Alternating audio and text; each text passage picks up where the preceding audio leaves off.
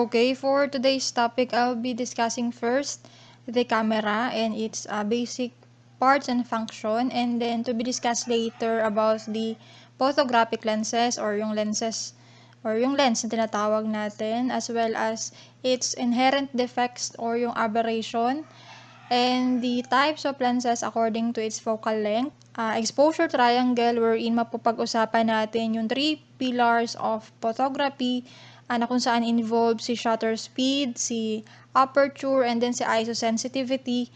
And then lastly, the depth of field na kung saan apektado of course, uh, especially when we are going to control the aperture opening and so on. So, mapapag-usapan natin yan as well as the factors affecting the depth of field sa isang photograph or sa isang image. So, now, i-discuss muna natin si camera.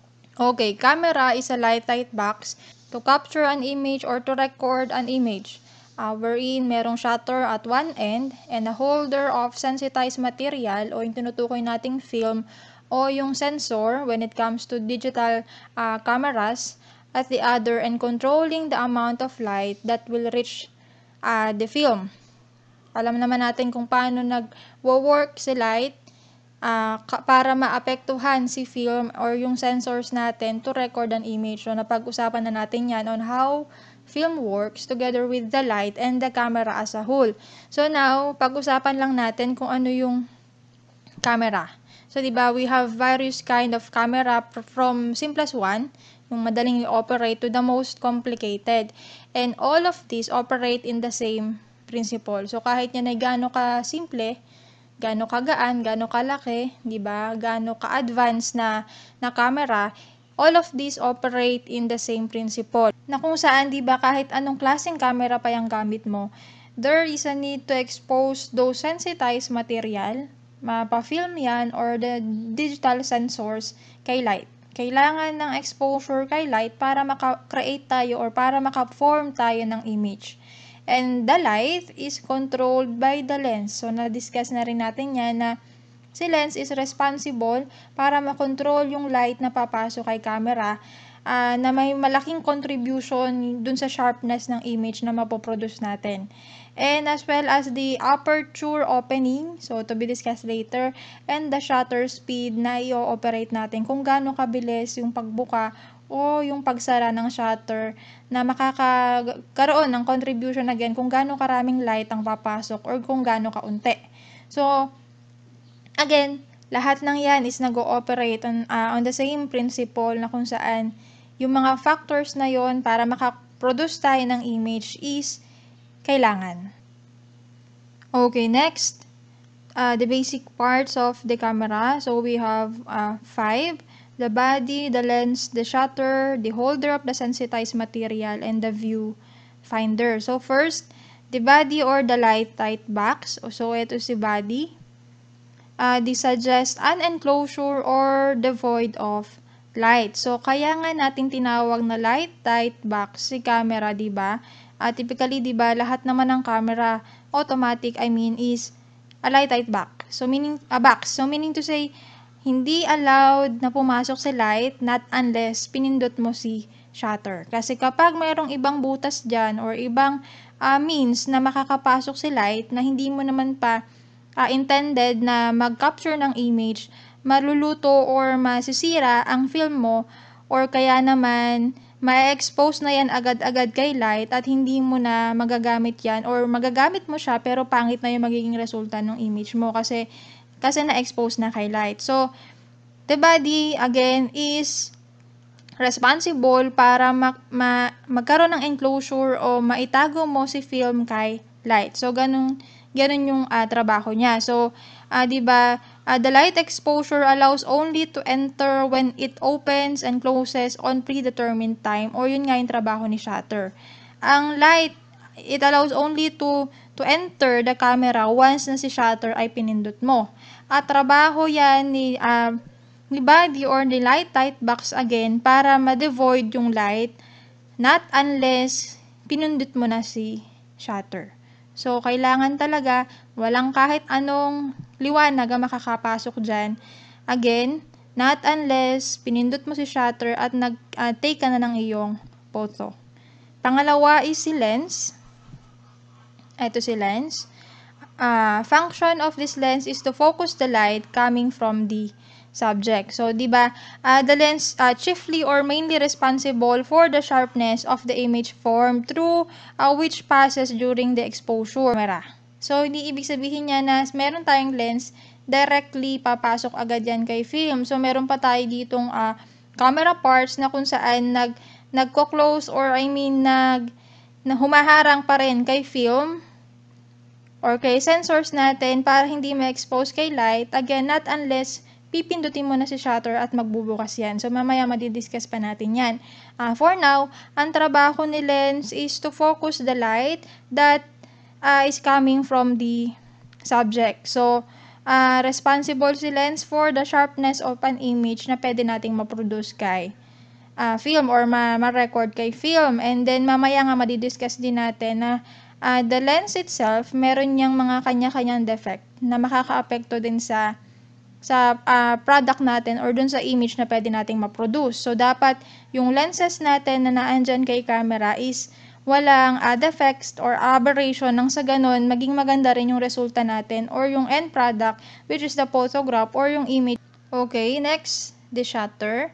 So, it is used to allow light to enter through the lens and reach the film for a predetermined intervals of time which light is again blocked off from the film. So, si shutter natin is naandyan po yan.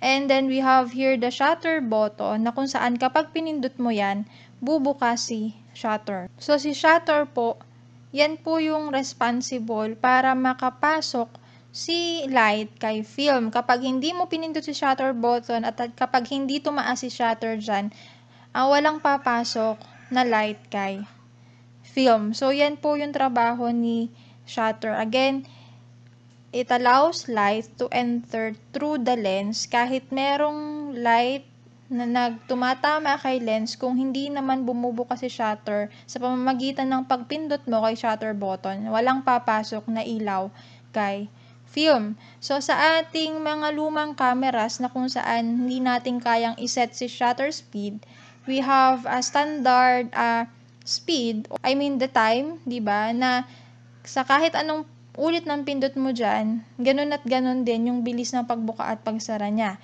While ngayon, di ba, mas marami na tayong cameras na advanced na kaya nating iset yung pagbuka at pagsara ng shutter depende sa pangangailangan natin. Kung gusto mong mas mabilis, pwede yon Palta mo si shutter speed. Kung gusto mong mas mabagal yung kanyang pagsara, yung kanyang pagbuka, pwede mo yung, yung uh, pwede mo yung iset Again, si shutter, responsible yan kung gaano katagal mo i-expose si film kay light or kung gaano mo kabilis i-expose si film kay light. Pang-apat is the holder of the sensitized material. So, located to at the opposite side of the film. I mean, opposite side of the lens, sorry.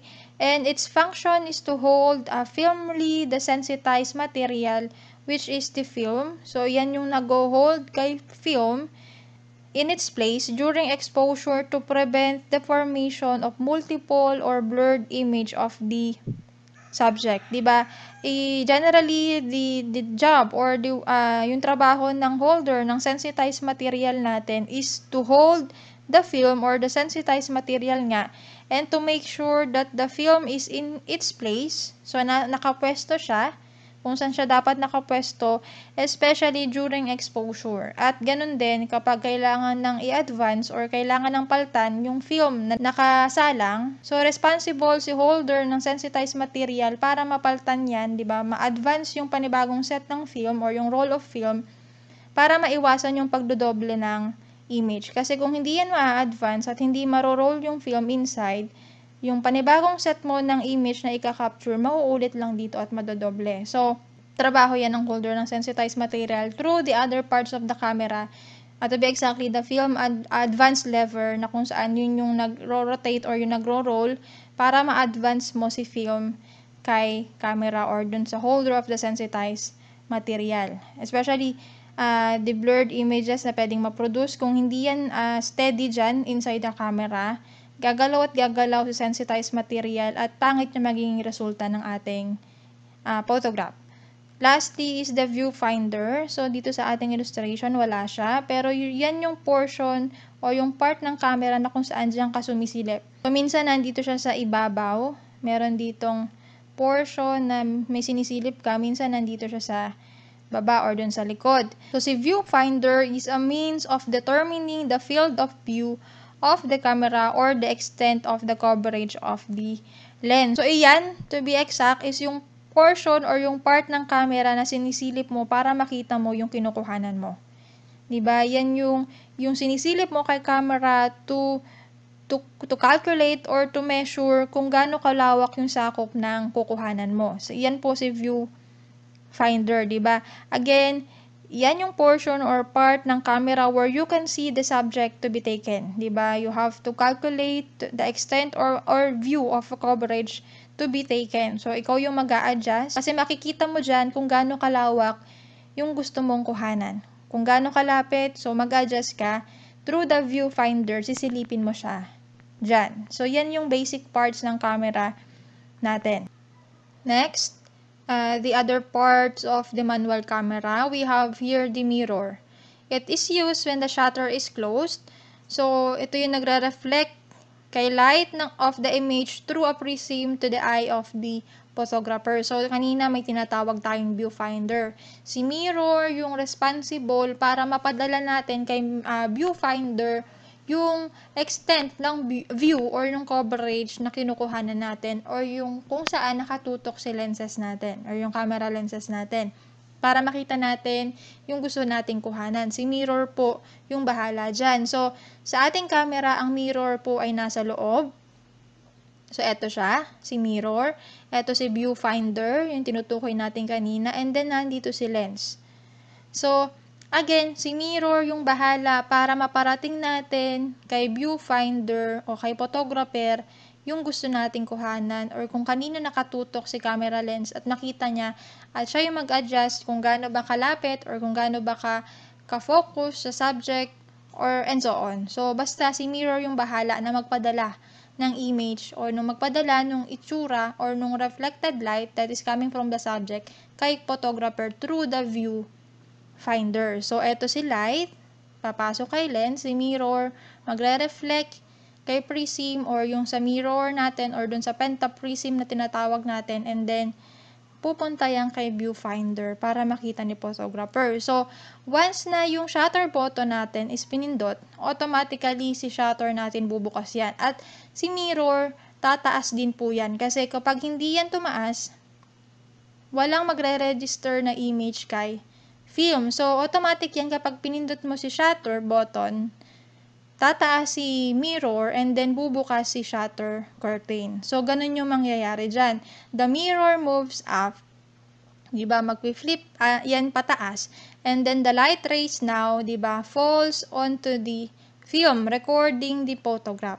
So, yun, yun lang yung trabaho niyan. Para mag-reflect si light kay viewfinder at nakita ni photographer and then wala yang kinalaman kung gaano kadaming papasok na ilaw kay film and so on. Yun lang yung trabaho niya.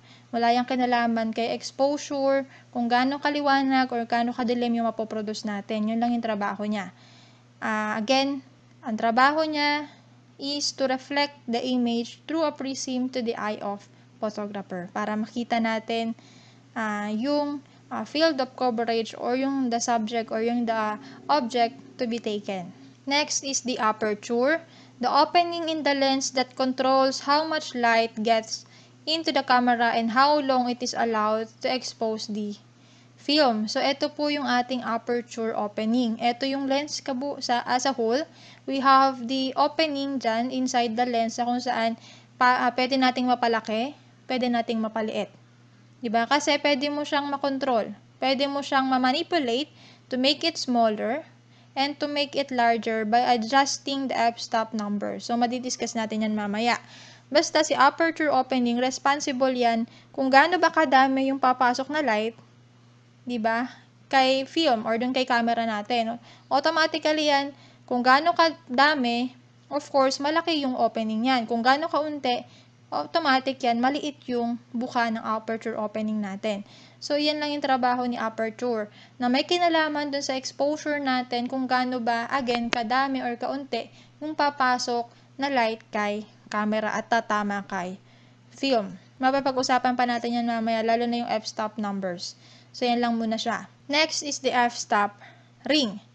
This refers to the control uh, which sets the size of the aperture opening as the uh, photograph is taken. So, meron nga tayong aperture opening na kaya nating makontrol and manipulate. Si f-stop ring yung bahala dyan.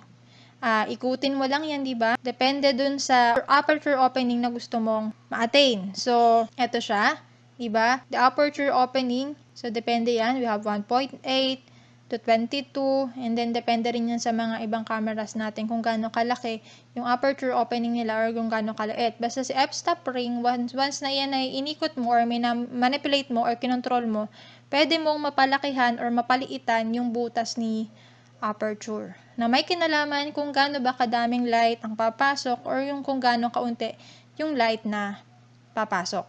Okay, next is the shutter speed dial.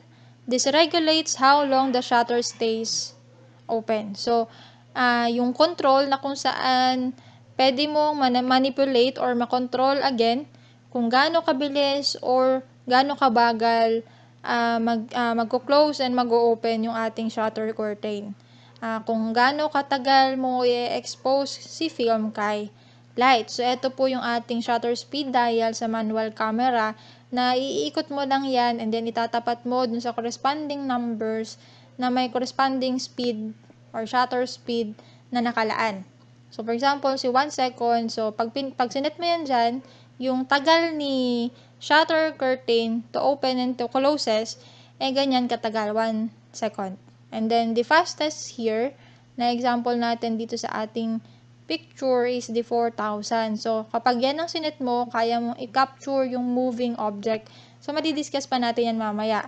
Uh, dito lang, sa part ng camera, we have a portion sa camera na pwede mong iset, ikutin, itapat mo sa numbers ng uh, shutter speed na gusto mo para maset mo kung gaano kabilis or kung gaano kabagal na kung saan, di ba, It indicates the timing of the shutter, kung gaano katagal mo siyang, I mean, kung gaano mo katagal gustong i-expose si film kay light or kung gaano kabilis mo lang i-expose si film kay light. So, si shutter speed ang bahala dyan sa ating manual camera. Ito siya. Next is the film advance lever. This is used to advance or move each uh, small piece of film after the photograph is taken. So, eto siya. Yung tinutukoy ko kanina na kung kailangan mo of course, i-move or ma-advance yung film na nagamit mo na or na-expose mo na kay light para makapag-take ka na ng another photograph. ba diba? After taking a photo, you have to adjust the film and the advance film lever yung responsible dyan. Kasi kung hindi mo yan i-advance, kung hindi mo i-move to another set of uh, film na hindi pa exposed kay light, madodoble yung exposure ng film na nakasalang. So, yan yung trabaho ni film advance lever. So, kailangan mo siyang i-advance para mag-adjust or ma-move. And then, ma-place yung another set of a uh, film, yung kaduktong niya sa roll film, and then saka ka mag-take ng another photograph. So, yan yung trabaho ni Film Advance Lever. Next is the rewind crank. This is used only after all the photographs have been taken. It is used to rewind the exposed film back to the canister. So, ang purpose ni rewind crank is to roll back the film after na magamit mo na lahat nung uh, pieces of roll film sa ating camera na nakalagay kay camera. So, once na tapos na, expose na lahat yung film, ibig sabihin, nagamit mo na lahat si film, si rewind crank yung bahala dyan pull it back or to roll it back to uh, into the film canister. So, usually, ito ay iniikot clockwise. And then, another purpose or yung use ni rewind crank is to ensure if the film is properly load uh, loaded inside the camera. na kung saan kapag hindi to nag-spin ng maayos or ng smoothly, hindi mo siya naikot, may sabit, once na inikot mo, ibig sabihin yung film inside the camera or dun sa holder ng sensitized material inside the camera is hindi maayos yung pagkakalagay. Ibig sabihin, mali or may something na mali or sabit inside the camera na mali yung pagkakalagay mo. So, yun yung dalawang use ni rewind crank. To roll the film back once na yan ay naubos na and then uh, to ensure that uh, tama yung pagkakalagay ni film inside the camera. And then, the shutter release button. The control that releases the aperture opening lifts up the mirror and exposes the film to the light. So, ito si shutter button or si release, si shutter release na tinatawag natin or yung shutter release button na tinatawag natin na kung saan ito yung button na pinipindot mo to take the photograph. Diba? Again, uh, usually ang tawag dyan is release, release button or the shutter release and etc. It is normally on the right hand on the side top of the camera. Na kapag pinindot mo yan, automatically gusto mo na mag-take ng photo, nakafocus ka na kay camera, and then tulad ng sinabi ko kanina, pag pinindot mo na yan, tataas na si mirror, and then si shutter uh, curtain natin is tataas na din, and then papasok na si light kay film. And then once na tapos na, babalik na yung shutter curtain natin to normal, and then bababa na rin si mirror. So, ganun yung nangyayari dyan. And mamaya madidiscuss pa natin yan ng mas maayos. So again, si shutter button or rele uh, shutter release button, yan yung uh, button na kung saan pinipindot mo that allows you to to expose the film kay light. Okay, lastly is the ASA dial. Na-discuss na natin yan. Uh, we have the ASA, ISO, and then the DIN, yung film speed natin.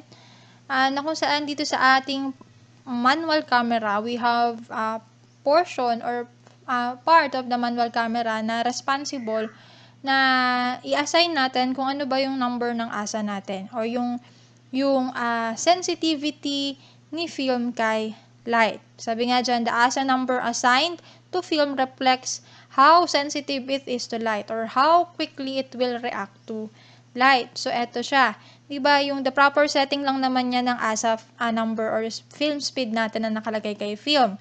Na kung saan kung babalikan natin, 'di ba, if you want to take a photograph ng moving or fast action na subject mo or ng object, kailangan mo gumamit ng fast film. So ibig sabihin higher na ASA number yung kailangan mong iset diyan. And then the na kung normal lang na type of uh, subject mo, 'di ba? The lower the asa asa dial yung kailangan mo lang diyan, hindi mo kailangan ng fast film speed. So the higher the number, 'di ba, the faster the film and anything that is above 200 is considered as a fast film. So yan lang naman yung trabaho na sa dial. The proper I mean the designation of the proper film speed uh, with regards to the film na nakasalpak kay camera. So, yan po si ASA dial. Next, the types of camera. So, na-discuss ko na to sa inyo, yung iba dito, karamihan. Uh, pasadahan lang ulit natin. We have first the box camera or the box type camera. And then for more than several decades, the box camera or the viewfinder camera was the instrument of choice for the casual amateur photographer. Kasi yan naman talaga yung pinakaunang type ng camera natin noon, which is inexpensive and simple, and it was nevertheless capable of excellent results under many conditions. It is normally fitted with a single lens but a limited range of aperture kasi yan ay fixed na yung aperture opening niya so hindi mo siya gaanong makokontrol. Not unlike ngayon sa mga cameras natin that is capable of controlling how big the aperture or how small the aperture is na may kinalaman sa kung ganong kadaming light ang papasok kay camera. So, yung box camera natin noon, uh, may limited lang yan ng range of aperture and a single speed lift shutter. Yung tinutukoy ko kanina din na nasabi ko na yung mga unang cameras natin, hindi natin nasa-set yung uh, speed niya, yung shutter speed niya. So, we have only a single speed na setting na hindi mo na siya mababago. So, yan po yung box camera natin. na nag-originate diba sa camera obscura, yung camera without lens na kung saan uh, in, uh, in-improve na lang natin ang in-improve, nilagyan ng lenses to produce a sharper image, and then so on. Kaya nagkaroon tayo ng box camera. Next is the folding roll film camera. Second in popularity only to the box camera, though it was a box camera whose lens was incorporated into a movable bellows that could slide back and forth on a rail allowing the lens to change change sorry focus di ba? Eto si folding roll film camera na sabi nga natin movable. So pwede mong i i-slide back or or and forth or forward yung kanyang rail 'di ba allowing the lens to move forward also to change the focus It was manufactured in a variety of formats and basically ito nga yung kanyang itsura. Next is the single lens reflex or SLR na tinatawag natin. A camera with one lens only for both viewing and picture taking. The image is reflected onto a viewing screen by a movable mirror in the camera. Ito yung tinutukoy natin kanina na camera na kung saan we have mirror inside na, na responsible para makita natin kung ano yung uh, tinututukan ng ating camera lens. Yan. A camera with one lens, di ba, that is only for viewing, di ba, and picture taking na nagpo-focus o tumututok sa ating subject. We have only one lens na responsible dyan, na kung saan si image is reflected into a viewing screen by a movable mirror of the camera. Yan yung karaniwan or karamihan na sa cameras natin ngayon. Na kung saan, di ba dati we have a separate na silipan, si viewfinder, wala tayong mirror na ginagamit. So si viewfinder natin, kung ano yung sinisilip mo dito, iba yung coverage niya doon sa coverage ng lens na tinututukan mo. So we have the single lens uh, reflex, again, na kung saan the mirror, ito, uh, flips out of the way just before the shutters open.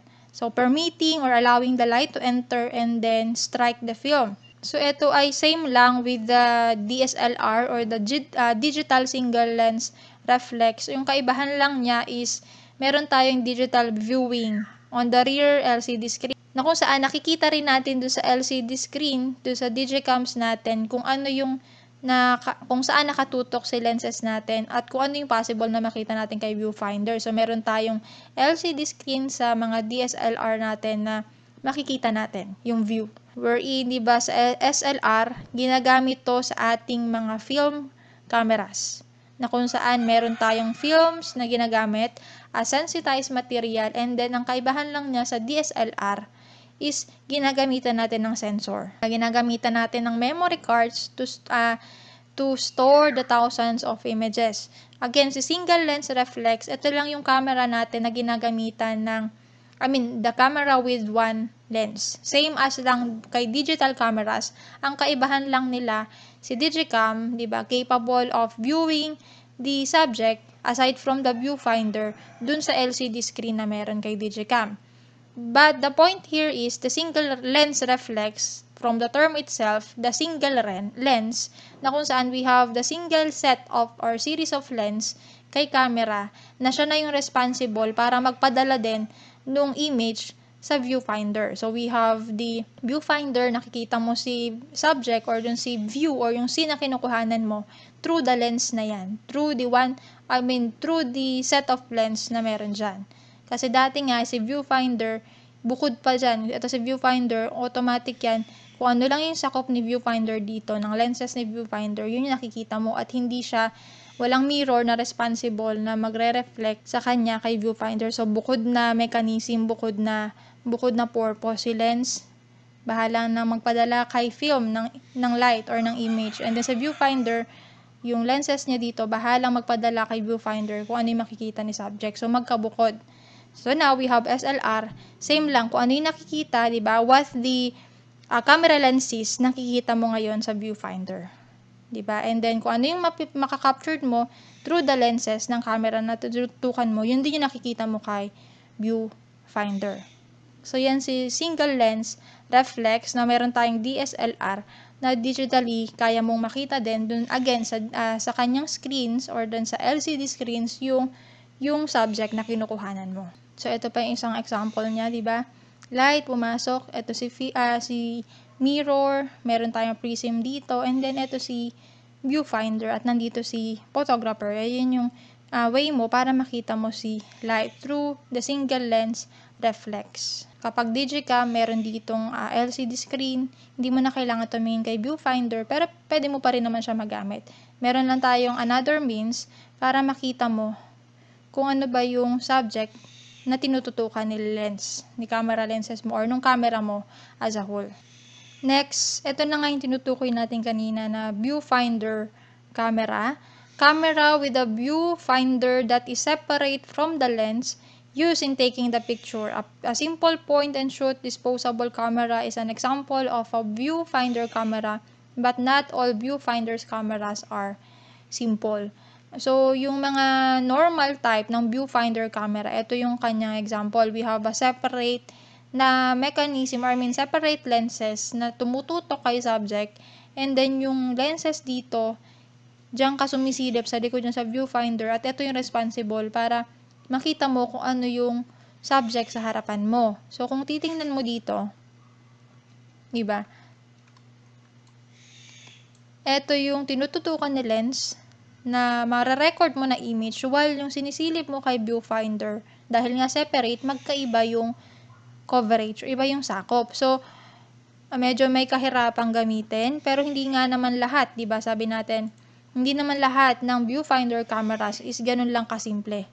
So, meron tayong magagandang klase ng viewfinder cameras na capable pa rin to produce an image and then uh, capable of focusing or uh, producing an image that is in focus. Kung ano yung gusto mong makita or anong gusto mong i-take na photo. Uh, but in short, the viewfinder camera, yan is uh, meron na separate na lenses that is for viewing the subject and then the lenses that is focused on the subject. Lens that is focused, I mean lenses that is only for the viewing of the subject through the viewfinder and then the lenses that is focused on the subject. So magkaiba yung coverage or magkaiba yung sakop ngayon. Yung nakikita mo kay viewfinder, hindi yun yung sakop ni lenses ng camera mo.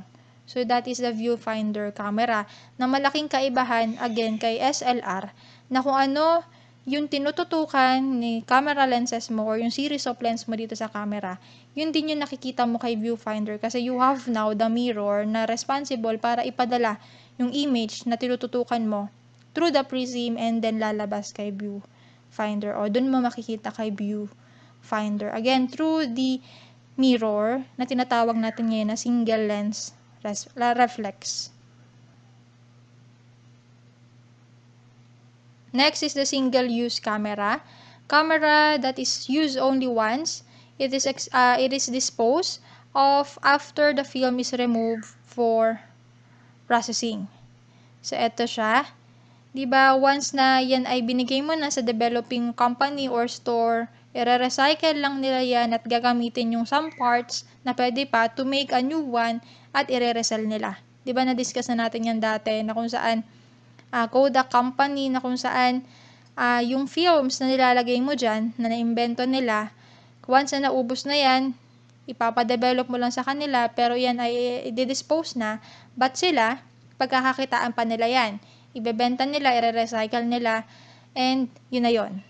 But dun sa user, hindi mo na yan pwedeng gamitin, not unless kaya mong recycle yan ng ikaw. But hindi ikaw yung manufacturer niyan, hindi mo alam kung paano gumawa ng camera, hindi mo yan magagawa. So, the the company, sila na yung bahala dyan. And then, ang, ang ihintayin mo na lang sa kanila is yung develop uh, photograph mo. Yung positive images mo o yung photograph mo through the negative films na binigay mo sa kanila. That is the single-use camera And then the instant camera, na-discuss na rin natin. The Polaroid, the type of camera with self-developing film. And then the most famous are those made by the Polaroid Corporation.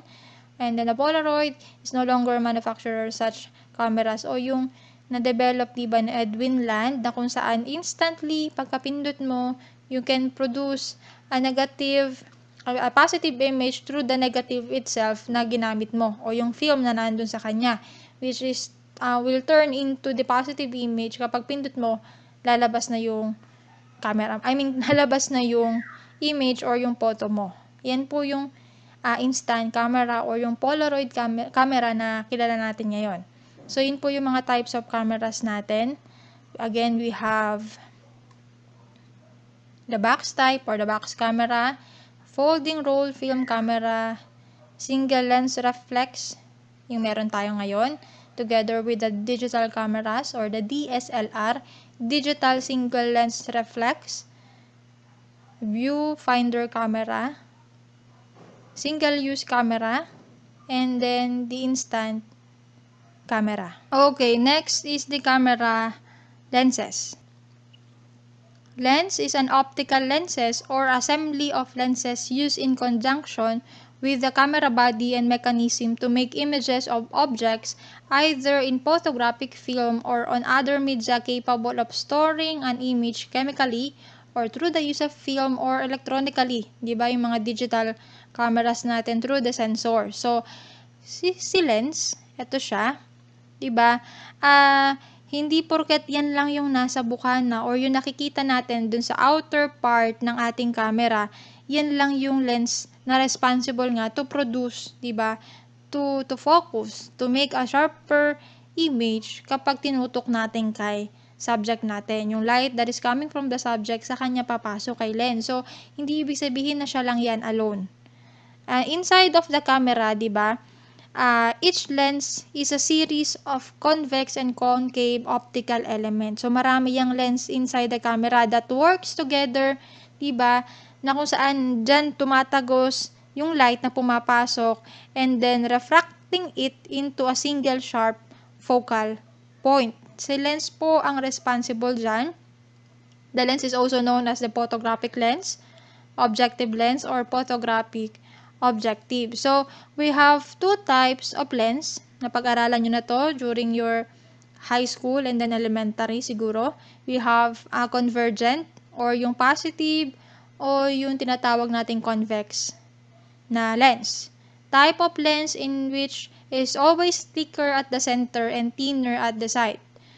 Wherein light passing through it are bended toward each other papunta sa sa bawat isa or magmimit sila, papalapit, 'di ba?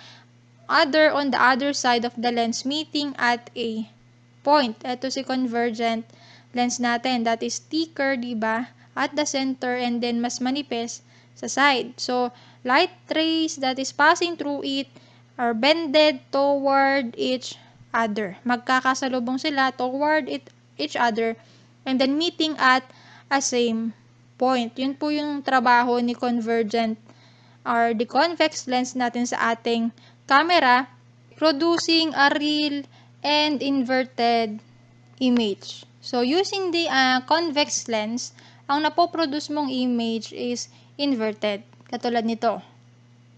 So, this is the object or the subject na ginagamit mo, di ba? Tinutok mo si convex lens dyan. And then, yung makikita mo on the other side is an inverted image na produkto niya. So, yan po yung kanyang uh, resulta. That is either diminished in size, so pwedeng lumiit, or pwede namang ma-magnified using the convex lens. So, pwedeng malaki, pwedeng lumiit, or, or, or the actual size din mismo nung object mo. While the divergent lens or the negative o yung tinatawag natin na concave lens type of lens which is always thinner at the center, mas mapayat naman sa gitna, and then thicker at the side, wherein the light na, pum na pumapasok dyan or the light passing through it are bended away as compared to the convex na kung saan uh, bended toward each other. So, sa lubong sila, dito naman, paiwas sa isa't isa. Yung light rays na nabibend. As if it coming from one point. So, yan yung kaibahan nila. Na kung saan, ang resulta niya or siya is nakakapag-produce ng virtual and upright image. And then, the image itself or the uh, subject or the object to be taken is lumiliit and then it is formed between the object o yung subject mo and the lens. So, sa gitna siya na po-produce. Na kung saan, sabi nga natin, di ba, ah, yung lens natin sa camera, it is a series of lens. Kung tayo is magre-rely lang to a one kind of lens, anong itsura ng image na mapoproduce natin at saan mapoproduce yung image katulad nito. The image is produced in between the object and then the lens. So, ano mangyayari? So, again, through the series of lens using this uh, convex and concave lenses, yan yung use nila. It can produce uh, a real and then the vertical image and then the uh, upright and virtual image na kung saan uh, through the series of lenses, the combination of these lenses, makakapag-produce tayo ng image, di ba, that is sharp and then maganda. Through, again, the use of these lenses, through this series of lenses, uh, to be specific, uh, using these two types of camera lens, the divergent, di ba, uh, other term is negative or the concave, and then the convergent, which is the positive and the convex lens. Okay, next is the focusing. This refers to the setting of proper distance in order to form a sharp image. The lens of the camera, except those with fixed focus, requires focusing. A lens may be focused by any of the following. So, we have uh, types of, of focusing na mechanism na kung saan uh, it allows us to produce or to set the proper distance to produce a sharp image. It is the uh, moving of the lens element 'di ba, yung focusing natin, focusing ring, until the sharpest possible image is achieved depending on the distance of the subject from the camera. Etong focusing na tinutukoy natin, in short, is para makaproduce tayo ng sharp image, hindi blurred, 'di ba? Hindi malabo and so on. Yung focusing, the uh, setting of proper distance, 'di ba? Kasi may kinalaman po yung yung sharpness ng image o yung pagka-focus ng camera or ng nung image, 'di ba, natin na, na nagre-register kay camera dun sa proper distance niya kay camera lens. And then the camera lens nga of the camera except uh, those with a fixed focus kasi may mga camera nga tayo lalo na nung mga sinauna pa na hindi pa uso yung mga gantong klaseng advanced na na types ng camera na capable nga of focusing to produce a sharp image kasi meron nga ganto na fixed na hindi mo na kailangan i-focus. And then again, uh, focusing or a lens may be focused by any of the following. So we have types of focusing. First is the focusing scale or the scale bed. Ito siya. A scale is usually found at the lens barrel by feet or meter na kung saan uh, it indicates preset distance in feet or in meters nga to focus the lens of the camera yung distance ng object, 'di ba? The subject to be photographed is sinusukat, measured or at least estimated or calculated and the point or marker on the lens, 'di ba? For example, na measure mo na siya and then now yung yung marker or yung points or yung designated na na numbers of feet or meters, ngayon is i-adjust mo to the corresponding number on the scale. Depende dun sa measured mo na distance ng object dun sa camera lens mo. To focus the, the camera or the, to focus the camera lens to produce a sharp image. Yan yung isa sa type ng focusing na kung saan nakarely ka dun sa focusing scale bed or dun sa scale bed mo sa camera again, na, uh, na kailangan mong i-estimate or i-measure, again, yung distance ni object kay camera lens mo para maging sharp yung image mo, para maging focused yung object mo or yung subject mo to be taken sa iyong camera. Kasi kapag yan yan hindi properly uh, focus or hindi properly measured yung distance niyan, out of focus yung image na mapoproduce mo. And that is the use of scale bed or the focusing scale, kailangan mo yang i-maneobra kumbaga manually. Next is the range finders. We have uh, types of uh, three types of range finders na kung saan uh, it is a mechanism that measure the angle of the convergence of the light that is coming from a subject as seen from two apertures or opening viewed uh, but viewed at the same time. So, we have range finders na kung saan meron tayong tatlo, split, coincident, and the ground glass. Through the use of this type of range finders, kaya nating ma-focus yung subject na kinukuha na natin. Okay, unahin natin si split image. The image of a straight line in the object appears to be cut into halves, so kalahati, and separated from each other when the lens is not in focus. So, meaning to say, kapag nakita mo yan, na yung uh, image mo is nakat in two halves or sa kalahati, ibig sabihin, out of focus yung iyong camera lens. So, magiging focus lang siya, di ba? Once na uh, kinontrol mo na yung camera mo, inikot mo na yung ring mo, yung focusing ring mo, and once na nagtagpo sila, di ba? Naging tama na, 'di ba? Yung nakikita mo sa iyong viewfinder, nagtagpo sila or nagpantay na sila, ibig sabihin focus na yung iyong image and that is the split image. Again, magka-cut into half and as i as seen to the viewfinder, 'di ba? Yun yung itsura niya. And in order to focus, again, kailangan nilang magtagpo, kailangan nilang magpantay para masabi natin na focus na yung uh, image mo. And then, maayos na yung iyong lens. Nakafocus na siya sa iyong subject to be taken.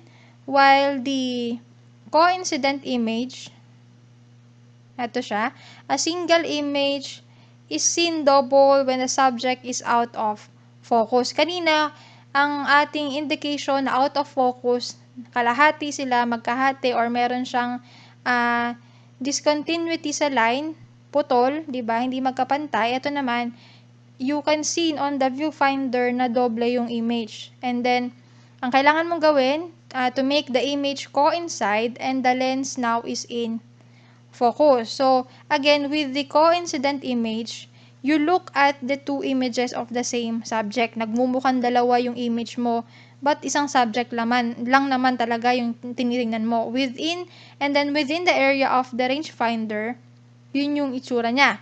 And then you have to turn, 'di ba? It into one, 'di ba? You have to turn the focus ring until they exactly coincide. Unlike kay split image, 'di ba? You will see either horizontal or vertical line na naghihiwalay sa kanila that splits the image And then you can observe, sabi ko nga kanina, discontinuity dun sa line.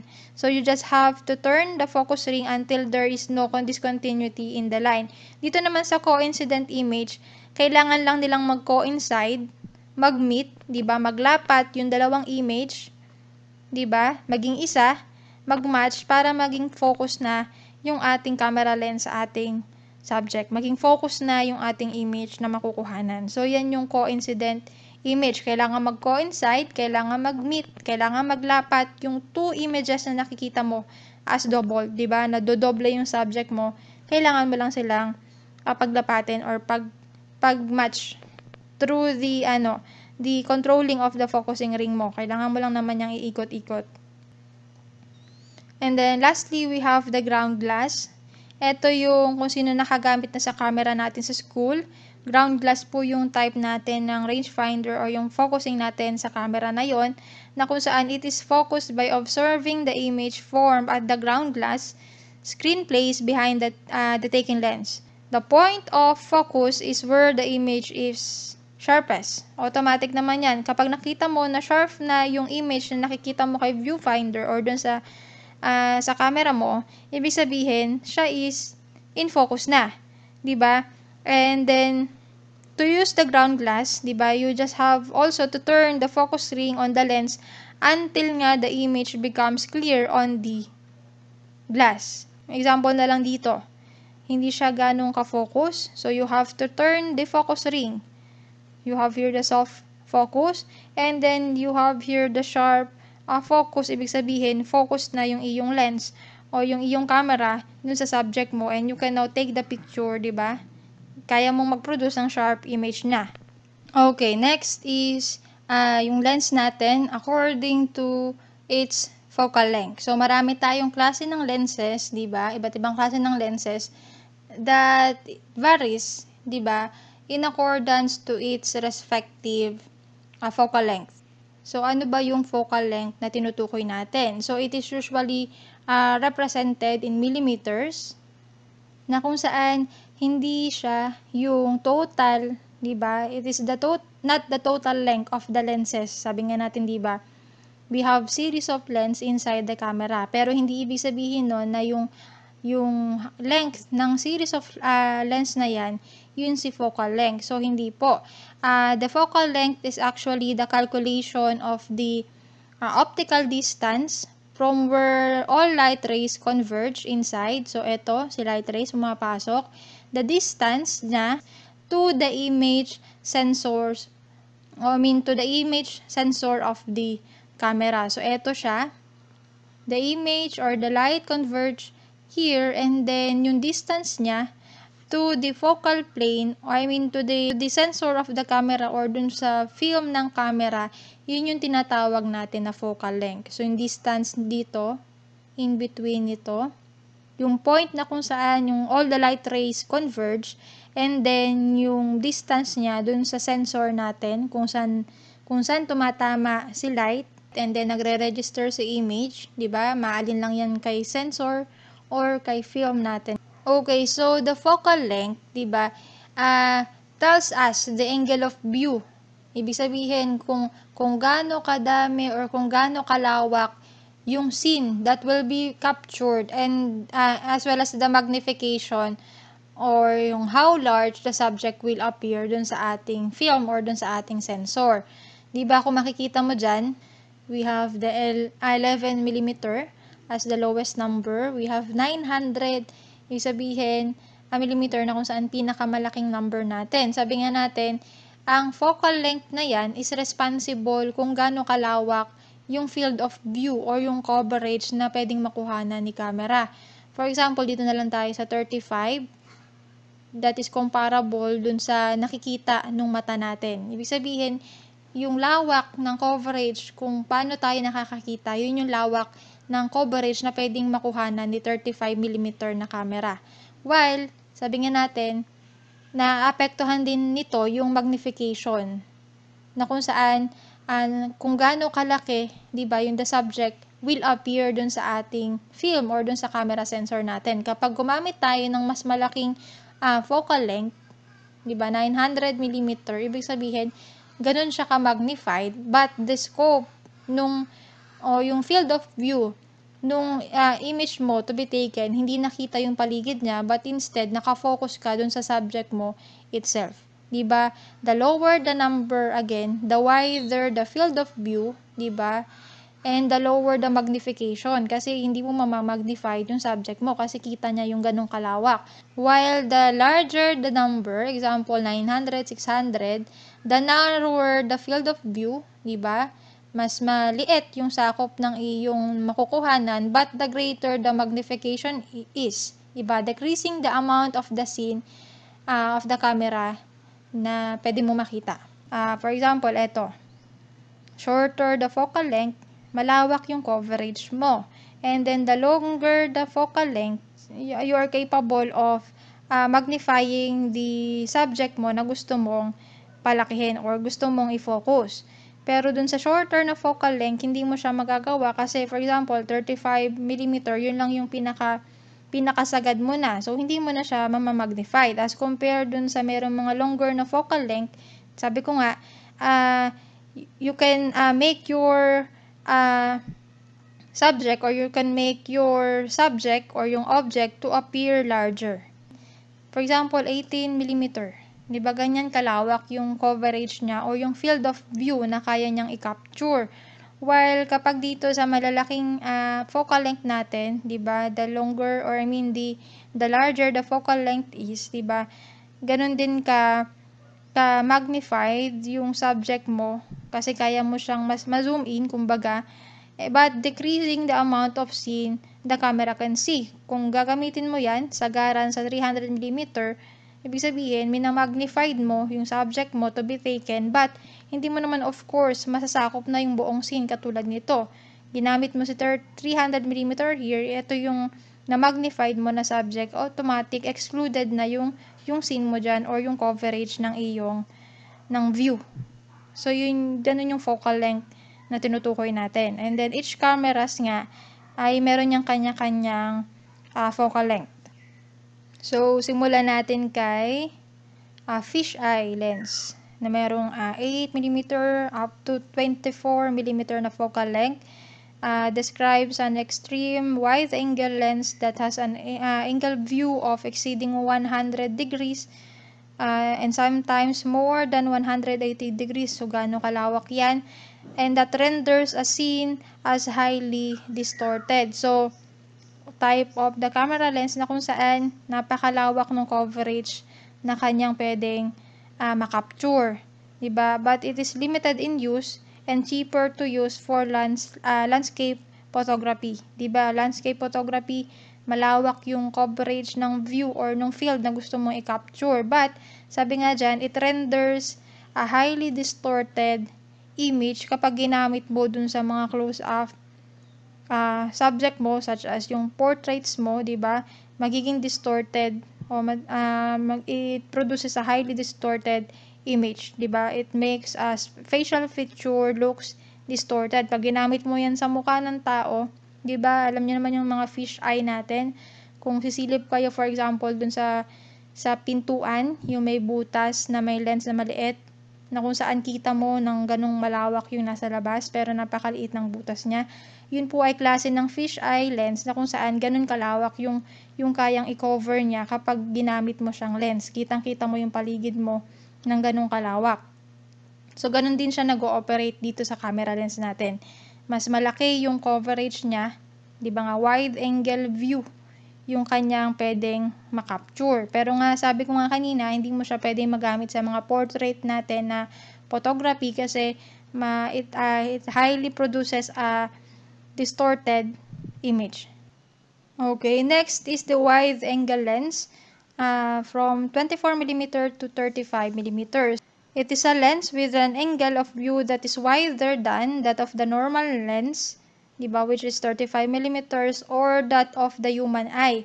A wide angle lens has the focal length which is less than the diagonal of the film format and then the angle of view is wider than 6, uh, 60 degrees and the focal length is shorter than normal. So, ang wide angle lens natin, of course, is malawak yung kanyang angle of view as compared to the normal lens na i-discuss natin mamaya. Kasi nga, ang kanyang possible na pinakamaliit, diba, lowest, is the 24mm.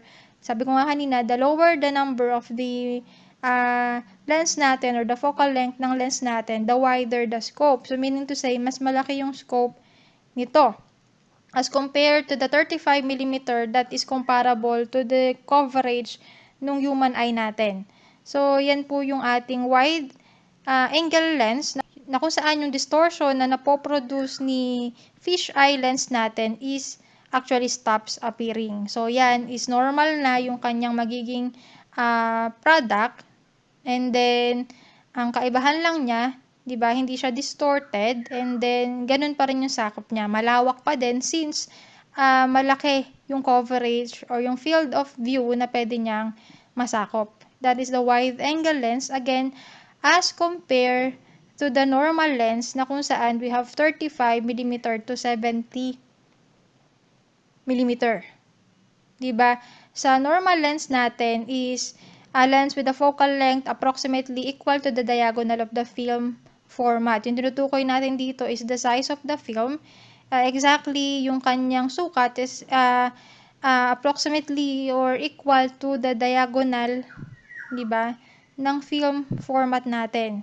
Same as with the length ng normal lens natin which is the 35mm din. Uh, again, normal lens is uh, its, uh, its coverage is corresponds to the coverage of the human eye. Kung ano yung nakikita ng mata natin, same lang yan sa normal lens na nakikita or napoproduce na image. So, kung ano yung lawak na nakikita ng mata natin, yun din yung coverage ng normal lens. So, yan ay karaniwan sa mga cameras natin na ginagamit uh, everywhere na kung saan great walk around lenses and very popular lens. Na, yun nga, karamihan nga or karaniwan sa mga cameras natin ngayon is uh, 35 mm cameras up to 70 mm na uh, focal length ng ating lenses ng camera. Okay, next is the telephoto lens. Uh, that is typically start around uh, 70 mm to 300 mm. So, ito is usually ginagamit sa ating portrait uh, photography na kung saan it can produce a bigger image of an object. Diba?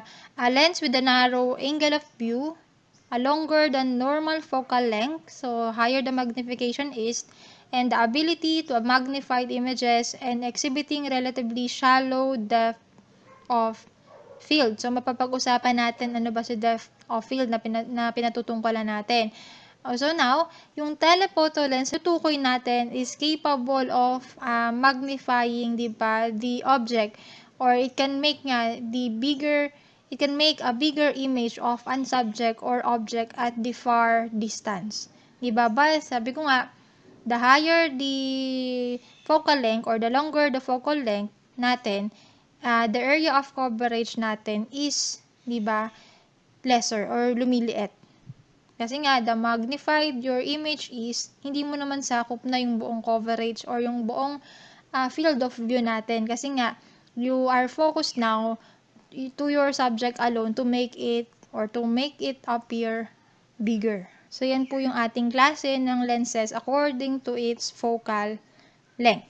Okay, next natin is the lens inherent defects or yung aberration na tinatawag natin, yung defects or optical defects sa ating lens. Because yung lens naman natin is not always as perfect para makaproduce ng sharp image. So, the lens inherent defects, di ba? It is the imperfection in the way na kung saan yung lens focuses the light it captures. So, hindi able yung camera lenses natin to to focus perfectly the subject to be taken natin na yung gusto nating i-capture. So, we have, again, lens inherent defects. Simulan natin kay spherical aberration. Photographic rays passing through the edges of a lens are bent or refracted more sharply than those passing through the lens. Thus, they come to focus nearer the lens than those of the central rays. So, kung mapapansin nyo dito sa ating illustration, those light rays that is passing through the edges sa gilid ng ating uh, uh, lens, ng camera lens is yun yung uh, nagpo-produce ng mas sharp na image. Ano yung nangyayari dito? Sa halip na sharp yung image na napoproduce mo dahil hindi sila nagmi-meet on the same point, katulad nito, na kung saan ang as a result, hindi sharp yung image na napoproduce. Na sa halip, di ba, mas sharp yung image na napoproduce dun sa, dun sa nanggagaling na rays from the peripheral edges ng lens, di ba? Yung rays that is breaking or passing the peripheral or dun sa edges ng lens become more focused as compared dun sa rays that is passing through the center. Kasi dito, di ba, hindi, hindi ganong nagmi-meet exactly. Ito lang nasa gilid or yung nasa edges ng lenses, imagine that ito yung bilog, lahat ng uh, ilaw, light rays that is passing to the edges, through the edges of the lens, yun lang yung in focus. Again, sa halip na sila ay nagmi-meet, 'di ba, to a single uh, point of focus, katulad nito, 'di ba, to produce a sharp image sa kanila mas nagpo-produce yung edges, 'di ba? Nagpo-produce yung light rays that is coming from the edges ng lens ng sharp image as compared dun sa nang dun sa pumapasok mismo dun sa gitna ng portion ng lenses. Kaya naman hindi siya sharp image yung napoproduce yung nasa gilid lang, yung yung uh, kanyang mas sharper as compared dun, dun sa pumapasok through the lens. Diba? Dapat ganyan kailangang mag-meet to a single point of focus para sharp yung image na na-produce. Pero dito sa spherical aberration, dahil yung rays that is passing dun sa edges lang ng lens, yung nag-meet, di ba, at the same point, yun lang yung nakaka-produce ng sharp image. And then, yung nasa gitnang portion ng, ng image or yung nasa gitnang rays, di ba, na tumatagos through the lens is hindi ganun ka-sharp kasi hindi sila nagmi-meet, 'di ba? Instead of forming a single a point, 'di ba? It forms on different points. Kaya naman ito yung problema ng spherical aberration. Again, yung pumapasok, 'di ba, yung the rays that is passing through the edges do sa spherical uh, dun sa periapical edges ng lenses, 'di ba? Dun sa edges ng lenses, yun yung uh, nagiging more focus as compared to the rays again that is passing through the center of the lens. Yun yung problema ng spherical aberration na dapat kung walang ganyang problema, ganito yung uh, perfect or yung ganito yung tamang uh, mangyayari na kung saan nagmimit sila on a single point of focus to make the image sharp and clear. Okay, next is the chromatic aberration. The inability of a lens to focus all colors, diba, sa wavelength natin, sa visible spectrum natin, at the same plane. This is normally only noticeable in long telephoto lenses. So, ano yung nangyayari dito? Inability daw ng lens na ma-focus yung lahat ng colors na nasasagap nito. So, for example, ito. Kung makikita nyo, di ba, mas reddish siya as compared to dito. Kasi dito, ibig sabihin yung lens dito is mas nagpo-focus siya dun sa red na color or wavelength na nasasagap ng ating camera or ng ating lens. So, ito pa yung isang example, di ba? Uh, the image here, di ba, represents, ito, the illustration here represents the all colors na tumatagos sa ating camera lens. And then as you can see, hindi sila nagmi-meet, 'di ba? An inability nga ng lens to focus all the color. Example dito. Dito. As you can see here, if you receive, eto siya. If you receive in this location, the image becomes bluer. And as you can see, di ba? And then as you can see here, dito sa picture natin, di ba? You can see the blue is more focus and the red is dispersed. Kasi si red dito, andun siya sa malayo. Hindi siya nakafocus o magkakaiba sila ng point na tinutumbok. Kaya naman dito, kung dito mo i-receive si image, ito yung pagbabasihan mo. ba? The image is bluer. We can see that uh, the blue is more focused as compared to red because the red here is dispersed, di ba? So, the image as a whole is told on the blue side. Dito naman sa kabila, for example, you will receive, di ba, the image here, di ba? On the other hand, if you go here on this side, again, on this point, na kung saan ang nagmeet lang is the red color, di ba? Ito yung example niya. The red is focus and the blue now is out. As compared dito, si blue yung focus dito naman dahil ito yung point mo, for example, na, na, na pinagbasehan mo ng iyong image, the red now is more focused and the blue is out and the image as a whole is for the reddish side. So, yan yung problema ni chromatic aberration, yung inability ng lens to focus all the colors, kaya naman merong mas lamang na kulay na lumalabas. 'di ba? Kung iyan ay walang problema sa kanyang chromatic, 'di ba? Sa kanyang chrome, 'di ba? When we say chrome sa kanyang color, dapat 'yan is nagmi-meet, 'di ba? On an exact or single point para siya is uh, makaprodu- makaproduce ng sharp image and then the balance colors ng all the wavelength na nasasagap ng ating lens. Yan yung chromatic aberration natin. Again, inability ng lens to focus all the colors. Kaya naman merong mas reddish, 'di ba? Mas bluish and then sa green portion, so yan siya. Next is astigmatism. So alam naman natin sa mata din, ganun din yung kanyang application, medyo blurry. Na kung saan a single point from a subject falling near the margin of the negative will be imaged not as a point but as two uh, perpendicular short lines one of which is always be out of focus while the other is sharp. So, yan siya. Diba? Ang nangyayari dito, it causes the light source at the edges of the frame to stretch in a line shape. Nangyayari to ang kadalasan kapag yung lens, 'di ba, uh, does not focus on a perfectly flat plane and that is going to happen sa karamihan ng lenses natin to some degree. Kasi yung uh, back of the most lenses are curved, 'di ba? Curve naman yung karaniwan na ng mga likod ng ating lenses and then on very slight curve piece of glass, yun yung nangyayari. You have a cone shape bit of light. You're getting a blurry area which has also different magnification than in focus area dahil nga hindi naman yan uh, flat, 'di ba, yung lenses natin. Uh, uh, automatically yan. Ang likod niyan is uh, curve din, 'di ba? Or very slightly curved na nagkokos ng astigmatism. At ganyan yung nangyayari. For example, ito yung no at astigmatism normal lens, 'di ba? Perfect lens na kung saan walang problema. Kapag yan ay mayroong astigmatism, ganyan kadalasan yung nangyayari. Merong malabong portion and then eto siya. Again, you're getting a blurry area, 'di ba? Which has also different magnification than in focused area. So, astigmatism blurred yung some portion of the image. Okay, next is comma. A defect sometimes known as a lateral spherical aberration and it concerns with rays entering the lens obliquely.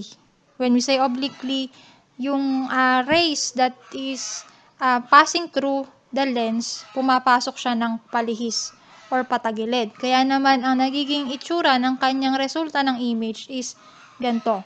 'Di ba nagiging uh, sabi dyan, comet light or merong comma na itsura, di ba? Na kung saan where single point of light enters a lens as, di ba, at its edge rather than the center. Sa halip na dito siya papasok, di ba, doon siya pumapasok sa edges niya, pat patagilid, kaya naman as a result, ganyan yung nagiging image o ganyan yung napoproduce niyang image. Na kung saan some portion is sharp, But the majority is uh, hindi ganun siya ka ka-clear or ka-sharp.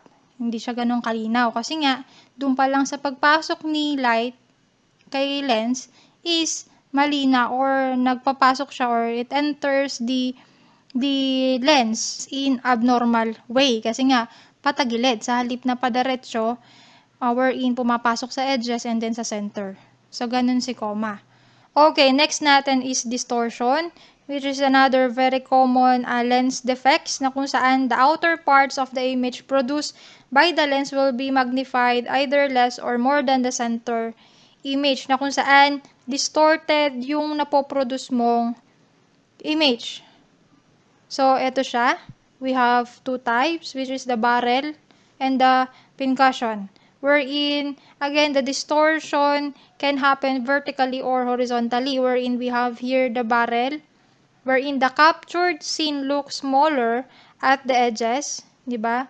Mas maliit yung makikita mo dito or sa gilid niya of the frame rather than the center kasi mas nasi-stretch yung kanyang center portion. Kaya naman yung gilid niya, di ba, looks smaller. While sa ating pincushion, ito siya, seen at the edges of the frame look bigger than the center. Kasi nga, uh, siya is nag-stretch inward na kung saan yung kanyang outer or yung kanyang edge portion, yun yung lumalawak.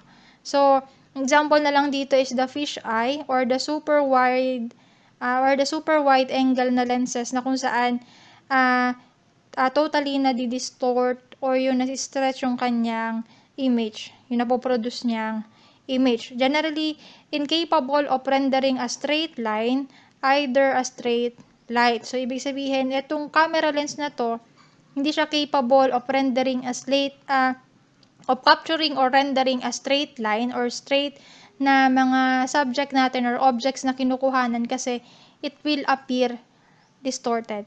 'di ba? Either the straight light that is coming uh, or passing through the lens, hindi niya rin to mare-recognize kasi nga ang ating lens ay merong problema na kung saan it makes the image distorted.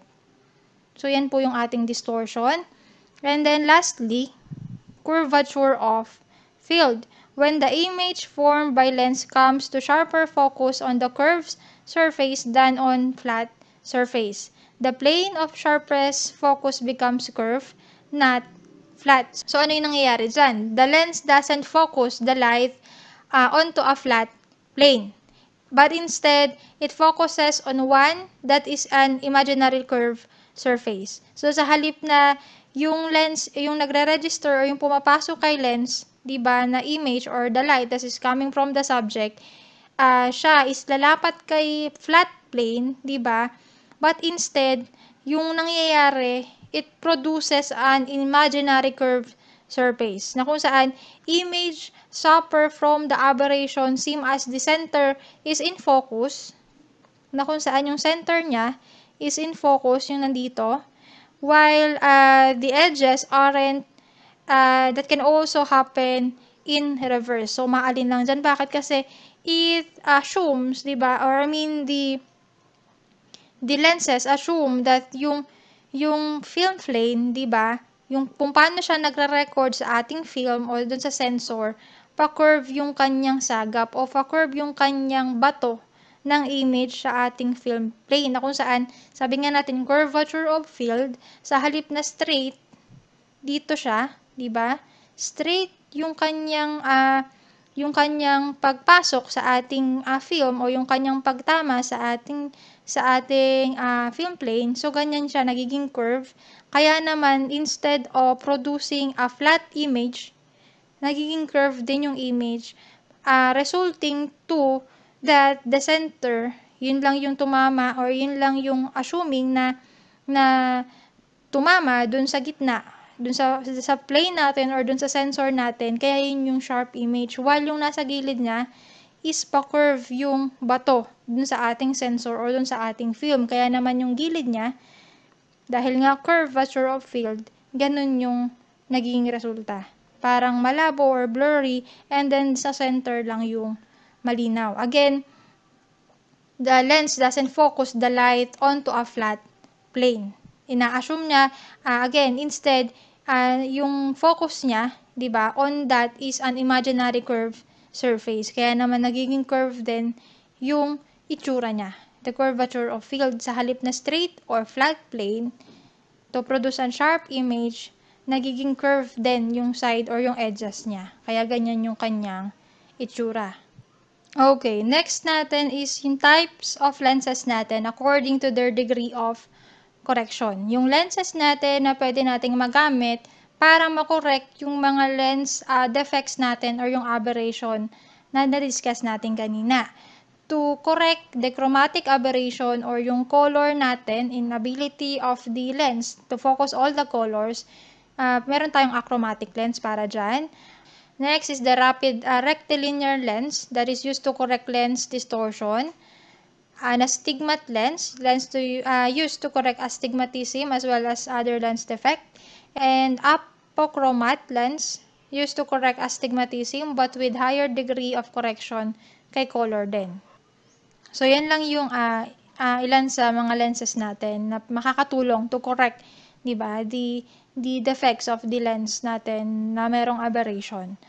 So, now, punta tayo sa relative aperture. So, ano yung meron dito? So, the light gathering power of the lens, di ba, is expressed in F-number system. It is otherwise called the relative aperture or lens opening. By increasing or decreasing the number or the F-number numerically, it is possible to control the amount of light that is passing through the lens, to control the depth of field, field na i-discuss natin mamaya, and then lastly, to control the degree of sharpness due to lens defect especially dun sa spherical aberration, by uh, making the aperture opening smaller or bigger, pwede nating magawa, magamit yon para makontrol yung degree ng sharpness due to the defects na, na dulot ng spherical aberration. So, again, ano ba yung meron lang sa relative aperture? Ito po is the, uh, alam niyo naman what is the aperture, it is the opening. So, it is the light gathering power nung aperture opening that is expressed in F number. 'di ba? Sabi nga natin, the the higher the f number, ibig sabihin the smaller the aperture is and then the lower the f number is the the the bigger the aperture opening is. So mapapalawak pa natin yan mamaya. At ano ba yung use talaga ni aperture para makaproduce tayo ng isang magandang image? Okay, sabi ko nga kanina, the relative aperture or yung aperture opening natin is uh, identified or represented by its F numbers that allows the light to enter and reach the film or the camera sensor natin. And then the aperture opening natin, it it can be adjusted, sabi ko nga, much like the iris of the human eye, which dilate or contract depending on the availability of the light. So dito sa ating aperture opening, as you can see, 'di ba, the larger the number, 'di ba, the higher the number of of the aperture opening or the higher the f number is, the smaller the the opening of the aperture. While the smaller the number, 'di ba? The lower the number or the lower the f number is, ibig sabihin, kabaliktaran siya na kung saan mas malaki naman yung kanyang pagbuka. And then ganun lang 'yan nadodouble at nadodouble lang yung kanyang pagliit at ng kanyang laki, depende din dun sa paglaki or yung pagliit ng kanyang F numbers. So, mamaya madidiscuss pa natin yan. But for now, balikan natin yung ka kanina. Okay, sabi ko nga kanina, di ba, the aperture is the hole in the lens. The aperture is the opening in the lens through which the light enters or travels into para makapasok kay camera. Uh, para maka makapasok or makarating kay film natin or dun sa camera sensor natin. And then to understand more, compare natin ulit siya sa ating eye. 'Di ba? Uh, all the cameras are designed like human eyes. Wherein yung cornea, ito, cornea of our eye is similar to the front element of our uh, lens or of our camera which is the lens. Again, na kung saan dyan sa butas na yan pumapasok yung ating liwanag para ma-reach yung ating film. Same as with dun sa mata, we have the the pupil of the eye na kung saan dyan pumapasok yung light para maabot yung retina ng ating mata.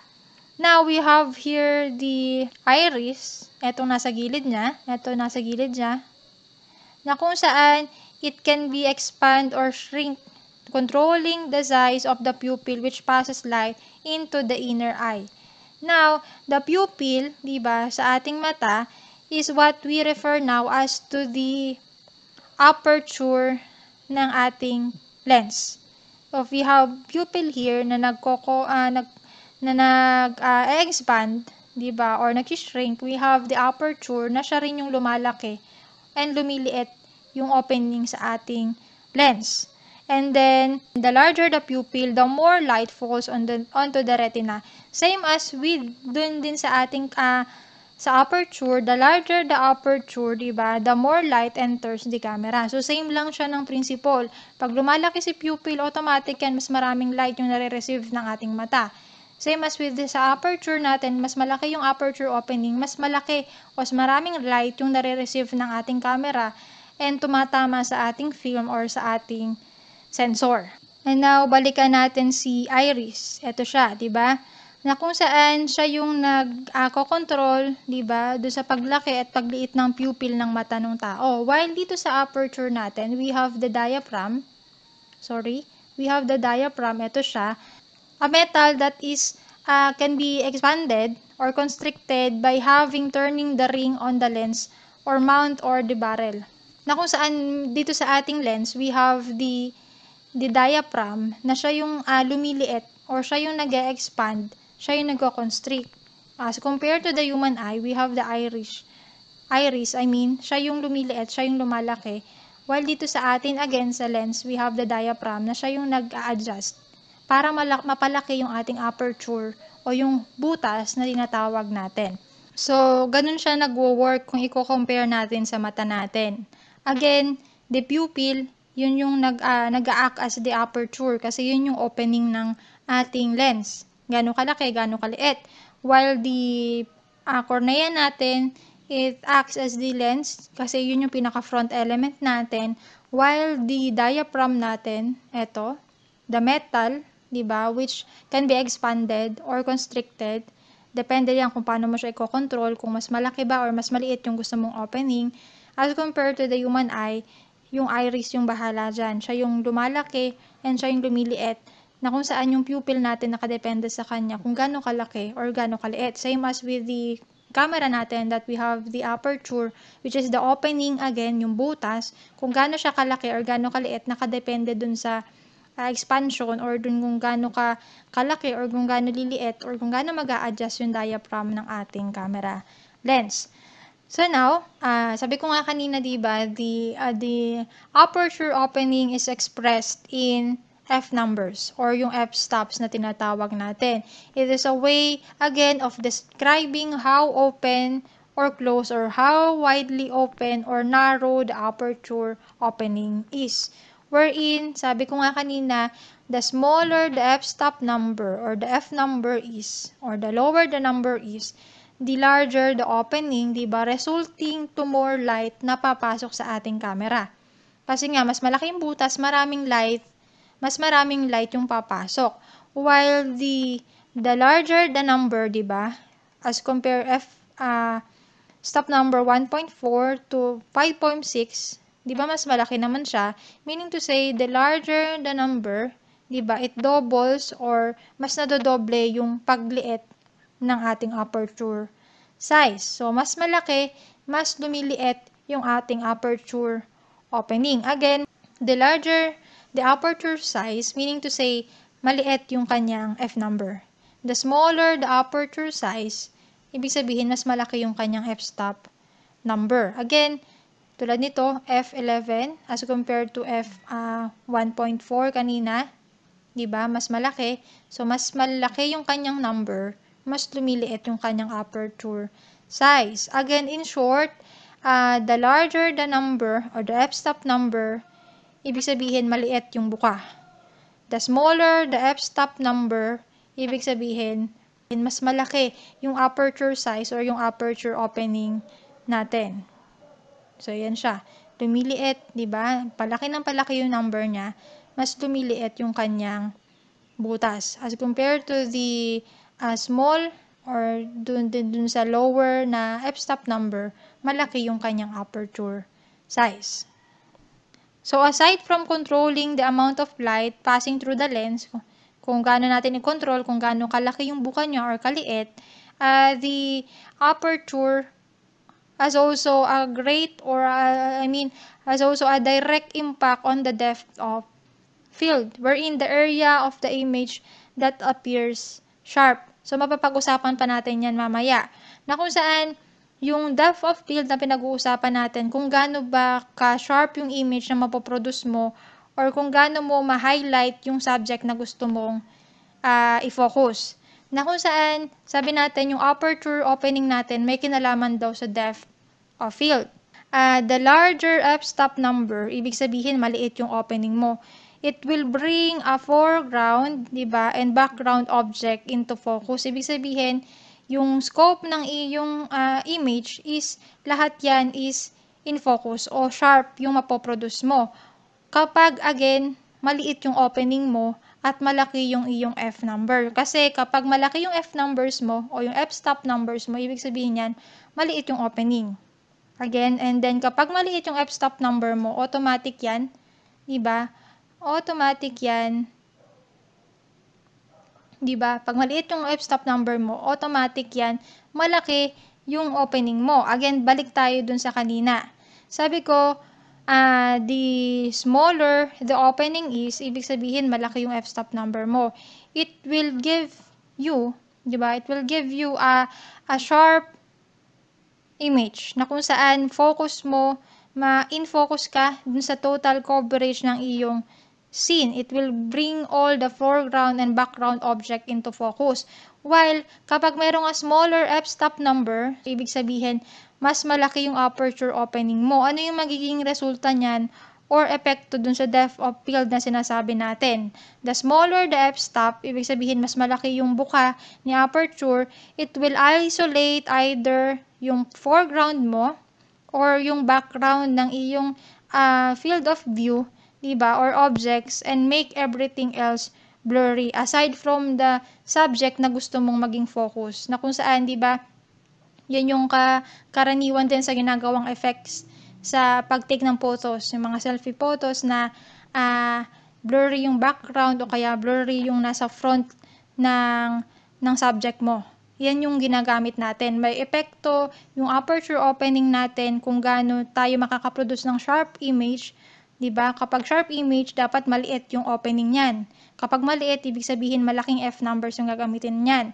And then kapag gusto mo naman na uh, ma-bring into highlight yung subject mo and then blur yung background mo o yung foreground mo, gumamit ka ng malaking aperture size. So meaning to say, maliit na f stop numbers. So ganun siya nag-work. Again, si f-stop numbers is wherein uh, the larger the number, ibig sabihin, the smaller the opening is. Kapag maliit yung opening, kaunting light lang yung papasok. And then the the smaller the f-stop number is, ibig sabihin, the larger the aperture opening is, and then the the more light will enter the camera. So, mas maraming light ang makakapasok kasi mas malaki yung kanyang butas. And then, may kinalaman sa depth of field field na kung saan mas malaki yung aperture opening, uh, mas nagiging blurry yung effect ng uh, it's either foreground sa harapan or the background and then yung focus mo lang is yung subject. And then kapag maliit naman yung iyong aperture opening, uh, makakaproduce ka ng sharp image. Ibig sabihin, the all in all na image na, pin, uh, na kinuhanan mo is sharp. It appears sharp and then walang blurry na na portion sa iyong image. So, yun po yung ating aperture or yung relative aperture. Okay, next natin is the shutter speed. A movable uh, cover for an opening. It open and closes to control the length of time strikes the film. And in photography, that opening is the lens, more specifically the aperture. So, ang pinag-uusapan natin dito, sorry, that is a shutter. A movable cover. Wherein, yung shutter speed na tinutukoy natin, it is the exposure time, di ba? The length of time the film or the image sensor in a camera is exposed to the incoming light. Kung gaano ka katagal mong hahayaang nakabukas yung shutter, 'di ba? Sorry, the shutter na tinutukoy natin or yung movable cover natin for the light to enter the film and then para mag-register mag-register si image. Kung gaano katagal mo i-expose si film or si sensor kay light. Nakadepende yan sa ating shutter speed. So, eto siya. A movable cover for an opening. Opening. So, eto si mirror kanina, ba? Once na pinindot mo si shutter, tataas yan. And then, etong si cover dyan, eto si shutter na tinutukoy natin. At yan is gagalaw, bababa yan, para ma-expose yung ating film sa light. So, now, discuss natin. Yung kanina, ito si viewfinder, ito si mirror. Tataas yan kapag pumasok, ah, para pumasok si light kay film, pag pinundot natin si shutter. So now, isa-isahin natin. Sa ating standard na SLR, na-discuss ko na what is SLR, and sa DSLR natin, when you press the shutter button dito, ito, kapag pinindot mo si shutter button, the mirror flips up. Sabi ko nga kanina, yung mirror lang naman is responsible para makita sa viewfinder uh, yung subject na gusto mong kuhanan. So, once na pinindot mo si shutter, tataas yung ating uh, mirror. And then, once the mirror is flipped upwards, a small door or the curtain-like o yung window-like curtain sa ating loob ng camera will move from top to bottom. So, ito yung mangyayari. Tumaas si, si uh, mirror kasi pinindot mo si shutter and then dito tayo, unti-unti yung ating shutter is bababa para ma-expose si film kay light and then babalik siya sa kanyang original position para matakpan ulit ang ating ang ating film. So, ganyan nag-ooperate yung ating shutter. Diba? Once na pinindot mo siya, tataas si ating, balik tayo, tataas si mirror and then siya bababa para i-expose niya para i-expose niya si film kay light. So, once the mirror is flipped up again, di ba? Magbubukas yan, exposing the sensor beneath it. And then, kapag na-expose na siya, di ba? Na-expose na. Okay, na-expose na siya. Babalik lang sa pesto si mirror. So, babalik siya sa pesto and then magkasarado na ulit yung ating uh, mirror and then magkasarado na ulit automatically yung ating shutter. Na kung saan, again, ang pinag-uusapan lang natin dito is kung gaano ba kabilis, 'di ba? Sa shutter speed natin, kung gaano ba kung gaano ba kabilis, 'di ba? Bababa at sasara ulit yung ating shutter para ma-expose si film sa ating light sa gantong kabilis na na na time or dun sa gantong kabagal na time. So, ganun po si shutter speed nag-ooperate. Diba, the longer the shutter is kept open, nakadepende yan do sa shutter speed na ibibigay natin. And then, kapag mas matagal, of course, yung shutter speed, diba, the more light will enter the camera. So, ganun lang siya. Again, ulitin lang natin, tataas si mirror and then gagalaw yung ating shutter and then bubuka siya at sasara. Depende dun sa shutter speed na binigay natin. Mas mabilis, mas mabilis yung buka, mas mabagal, mas mabagal yung buka at sara. So, ganun po siya. Okay, again, yung shutter speed natin is represented as fraction of a second. For example, ito. Ito yung tinutukoy ko kanina before that. Ito yung tinutukoy ko kanina na sa DSLR, 'di ba? Uh, meron kang LCD screen na kung saan aside from the viewfinder, kung saan mo sinisilip yung iyong subject na kukuhanan, pwede mo siyang makita dito. So meron ka lang kailangan pindutin diyan para hindi mo nasilipin dito at dito mo makikita yung lawak ng cover o coverage or field of view, field of view na kinukuhanan mo. So yan siya. So going back to the uh, shutter speed, ito is represented as fraction of a second. Wherein, for example, dito, to 1/8, di ba?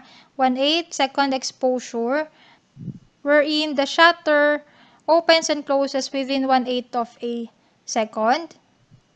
So, dito tayo sa 1 over 15 second exposure wherein the shutter opens and closes within 1 uh, and 15 of a second. So, ganun siya. Dito tayo sa dulo, di ba sa kabilisan. For example, 1 over 800, I mean 8,000 with wherein the uh, the shutter opens and closes within 1/8000 of a second. So ganun siya kabilis. You may have noticed that even though uh, a 1 second seems very fast, but it is actually a very slow shutter speed compared to 4,000s and 8,000s. Kung iko-compare natin yung yung uh, 1 second na pagbuka at pagsara ng ating shutter, yun po is considered as a very slow as compared dun sa 8,000 natin.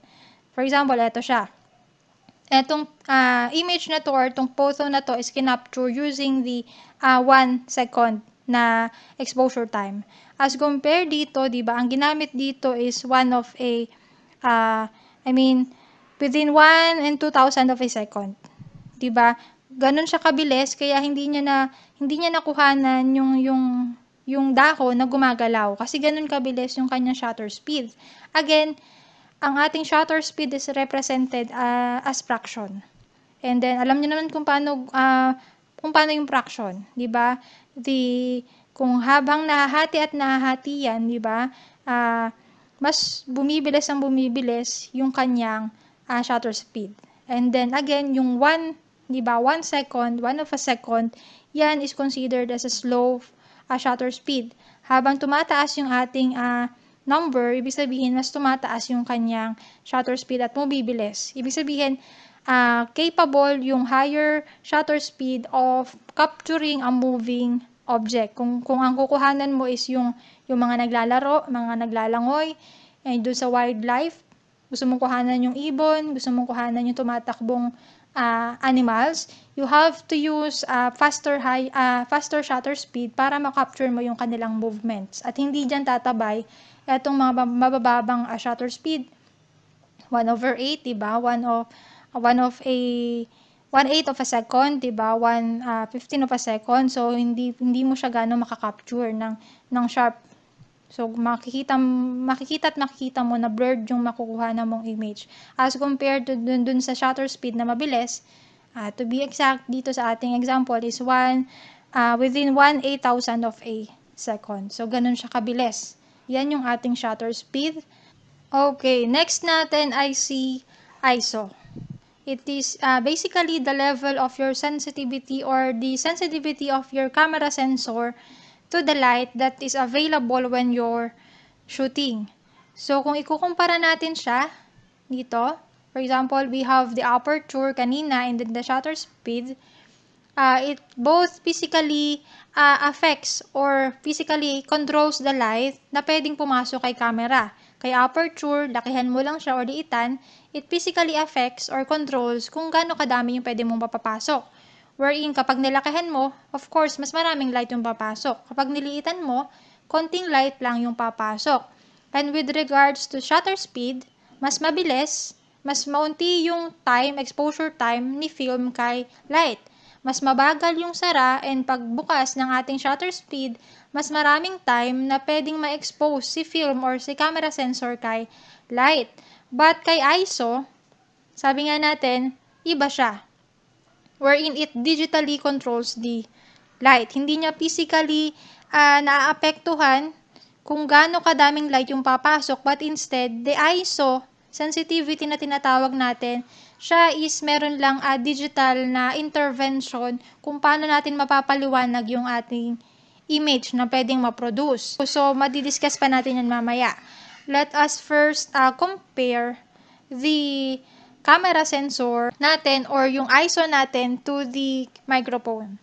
Wherein, di ba, the microphone gathers sound waves from the source just like the camera wherein it gathers the light that is coming from the source.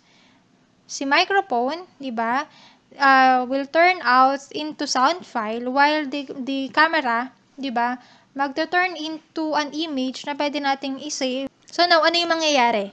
if you're trying to record ating microphone yung sobrang hina na boses tulad ng pabulong, 'di ba? And then you try to increase the sensitivity of the microphone, ganun din yung mangyayari sa ating camera.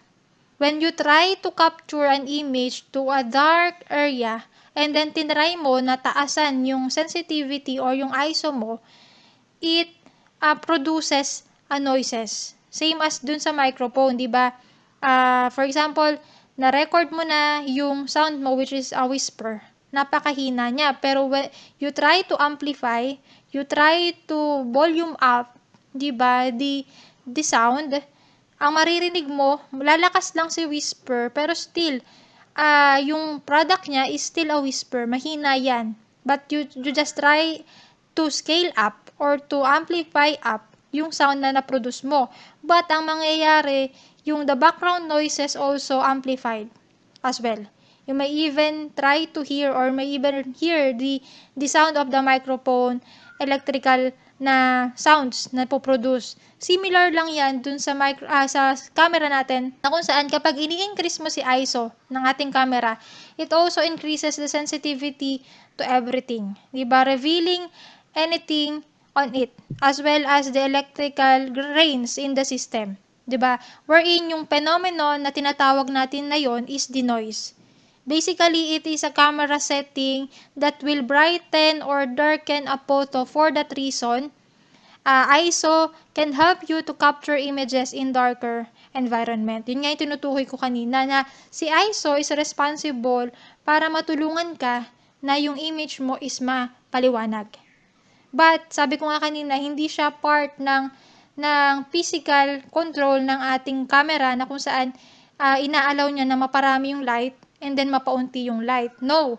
Yung ating ISO, yan is uh, digitally nagwo-work na kung saan nagkakaroon ng interference within the electronic charges sa ating camera na siya yung nagpaparami ng supply ng ilaw para lumiwanag yung ating image na napoproduce. But sabi nga natin, may mga drawbacks tayo dyan na kung saan nagpo-produce ng noise. Kung dito sa microphone natin, di ba, lumalakas, nag-amplify yung sound as a whole, na kung saan yung ibang sounds, naririnig din natin, lumalakas din. But still, yung na-record mo is a whisper. Same with dun sa camera natin, na kung saan, in-scale up mo yung ISO na, it produces a noise. So, eto siya. It produces a noise. Yan yung nai-introduce ng pagtaas mo ng ISO. But, on the other hand, sabi nga natin, basically, the ISO uh, makes your image brighter on the darker uh, environment. So, yun yung kanyang trabaho si ISO. Mas malaki yung ISO, so ibig sabihin, mas malaki yung uh, uh, chances na maliwanag yung iyong makapture na image. So, back in the film day, di ba, we have also an ISO. Di ba, may tinutukoy din tayo ng ISO uh, was often referred to as ASA, di ba, the combination of ASA and DIN, which is referring to the sensitivity ng film kay light wherein the lower the number ng ating film speed, 'di ba? It indicates a lesser sensitivity kay light. Ibig sabihin, mabagal yung reaction ng ating film kay light or matatawag natin siya na slow film. So, you if you pick up a roll of ISO 100, you know now that due to its relative insensitivity to, light, kailangan mo ng mas maraming ilaw. Kailangan mong gamitin si ISO 100 dun sa bright lighting condition. And then you also understood now, na-discuss ko naman yan, that a roll of ISO 400, mas mataas kay 100, film was better suited for lower uh, lighting condition. Like indoors and faster and more sensitive uh, like indoors. And then, uh, discuss ko na rin, di ba, that it is faster and more sensitive than ISO 100. Kasi nga, the larger the ISO rating, the film speed rating, di ba, it is proportionally uh, corresponding kung gaano rin siya kabilis. And in digital photography, na pinag-uusapan natin dito, it is the manner in which ISO was measured uh, in the same way. Di ba? Uh, yung ISO uh, or the film speed natin noon, di ba? Uh, the manner in which ISO was measured dito sa ating digital photography is measured the same way. 100 ISO is still less sensitive, of course, than 200. Uh, wherein, uh, which is less sensitive naman si 200 as compared to 400 and so on. And the biggest uh, difference is that in film days, ISO is referred to as physical qualities ng ating film. Uh, the film you use, di ba, how physically, na kung saan how physically sensitive yung film natin to light wherein now sa ating digital photography refers to an electronic process inside the camera. How brighter the image yung pwede nating ma-produce. And then the term ISO na tinutukoy natin was later adopted by digital cameras nga. Kasi dati ginagamit to as the combination of the ASA and DIN, di ba? Uh, adopted by the digital cameras manufacturers with the purpose of maintaining a similar bright, uh, brightness level as films noon. 'Di ba? Uh, back then, 'di ba, ISO is a combination nga ng ASA and DIN and now it is quite simply na uh, referring to the brightness or sensitivity ng ng sensor or ng digital sensor natin sa ating lights. Kapag sa ISO natin sa digital photography, kapag dinodoble mo or tinataasan mo rin yung ISO numbers mo, 'di ba? You you are also doubling the brightness of your image. But be mindful that uh, DSLR has only one single sensitivity. Isa lang yung sensitivity ng sensors natin, regardless of ISO na gusto mong iset. It is more accurate to say that ISO is like mapping, 'di ba? To tell how bright the output 'di ba? Meron na tayong a physical control which is the aperture and the shutter speed. Sila yung nagko-control o sila yung nagsasabi kay camera kung gaano kadaming light ang papasok. Sila yung bahala doon sa exposure na pwedeng uh, magkaroon si films kay light, si film kay light. While si ISO, 'di ba? Ito it is also like a mapping to tell how bright the output. Kumbaga, kung ano yung kung gaano na lang kaliwanag yung magiging resulta uh, of the photo should be given in a particular input exposure na ginamit nga natin si shutter speed and si aperture. So it, it, it is like the, the scaling up or the amplifying through the interference through digitally controlling the light na meron tayo. But again, hindi siya part ng exposure na kinokontrol mo physically kung gaano kadaming light yung papasok. Uh, you are controlling the light uh, digitally kung gaano mo ma-amplify, di ba, yung, yung brightness ng image or nung output mo or kung hayahayaan mo na lang siyang ganun kadilim. it is scaling up or amplifying your your image para mapaliwanag siya. So yung meron ka ng output through the exposure na ginamit mo si shutter and si aperture, yun, si aperture now, uh, kino-combine mo si ISO, 'di ba? Na madilim yung paligid, you are trying to make the image appear brighter through the ISO sensitivity na meron tayo, through the ISO setting na tinataasan mo yung yung kanyang brightness. So, yun po yung si ISO natin. So, ISO application, sabi ko nga, same lang din yan sa film. Mababang ISO o yung tinatawag natin the, na base, di ba? Na lowest ISO value, which is the base ISO, gamitin mo siya sa labas, outdoor photography na kung saan marami ng ilaw na kailangan. So, hindi mo na kailangan ng mataas na value ng ISO. So, which is the 100, di ba, the base ISO. Ginagamit yan sa outdoor photography. 'Di ba? And then mid-range ISO, yung katamtaman na ilaw, yung yung uh, lighting condition mo sa paligid. Depends on the lighting condition. Depende kung kada, gaano kadami yung ilaw mo. Uh, usually sa indoor photography. And then, we have the high ISO. Of course, ginagamit mo yan kapag madilim yung paligid mo. Hindi naman natin nililimit na sabihin natin na wag mong gamitin yung high ISO kasi uh, magpo-produce ng noise. Pero may use din naman kasi yung pagtaas mo ng ISO, usually, uh, lalo na paggabi, during night and other uh, night photography na gusto mong makakapture ng image kahit madilim yung paligid. So, taasan mo lang si ISO and it will uh, help you to brighten up your image. So, yan po si ISO. Diba? The higher the f-stop number, the brighter the image is. For example, ito, gabi to kinuhanan. And then, you are using the base ISO, which is the ISO 100. ISO 100, na kung saan yung f-stop mo, medyo may kalakihan pa rin yung opening. So, ibig sabihin, sa lahat ng possible na masagap mong ilaw, pwede mong masagap kasi malaki yung buka mo. But, the problem is, madilim talaga yung paligid. And then, you are still using the base ISO. Ganyan yung resulta niya. While kung siya is gagamitan natin ng mas mataas na ISO, we have ISO 800, ibig sabihin, kaya mong mapaliwanag yung image mo kaya mong ma-brighten ma up or mapaliwanag yung, yung output mo. But again, wala yung kinalaman sa kung gaanong kadaming light yung pwede mong mapapasok kasi yung shutter speed and, uh, and then the aperture yung bahala doon. Etong si ISO, it digitally uh, affects the output, 'di ba? Napapaliwanag niya or napapadilim yung ating output or yung ating image, but it introduces the noise na tinatawag natin. Okay, as compared dito dun sa base ISO or the lowest ISO value which is 100, mas lumiwanag of course si 800. And then mas maliwanag pa yung pwedeng ma-produce kay mas mataas na ISO number which is the 6 and 400. ISO 6 and, a, uh, 6 and a 400 na kung saan mas mapapaliwanag mo yung kanyang image. Pero depende na yan sa'yo 'di ba?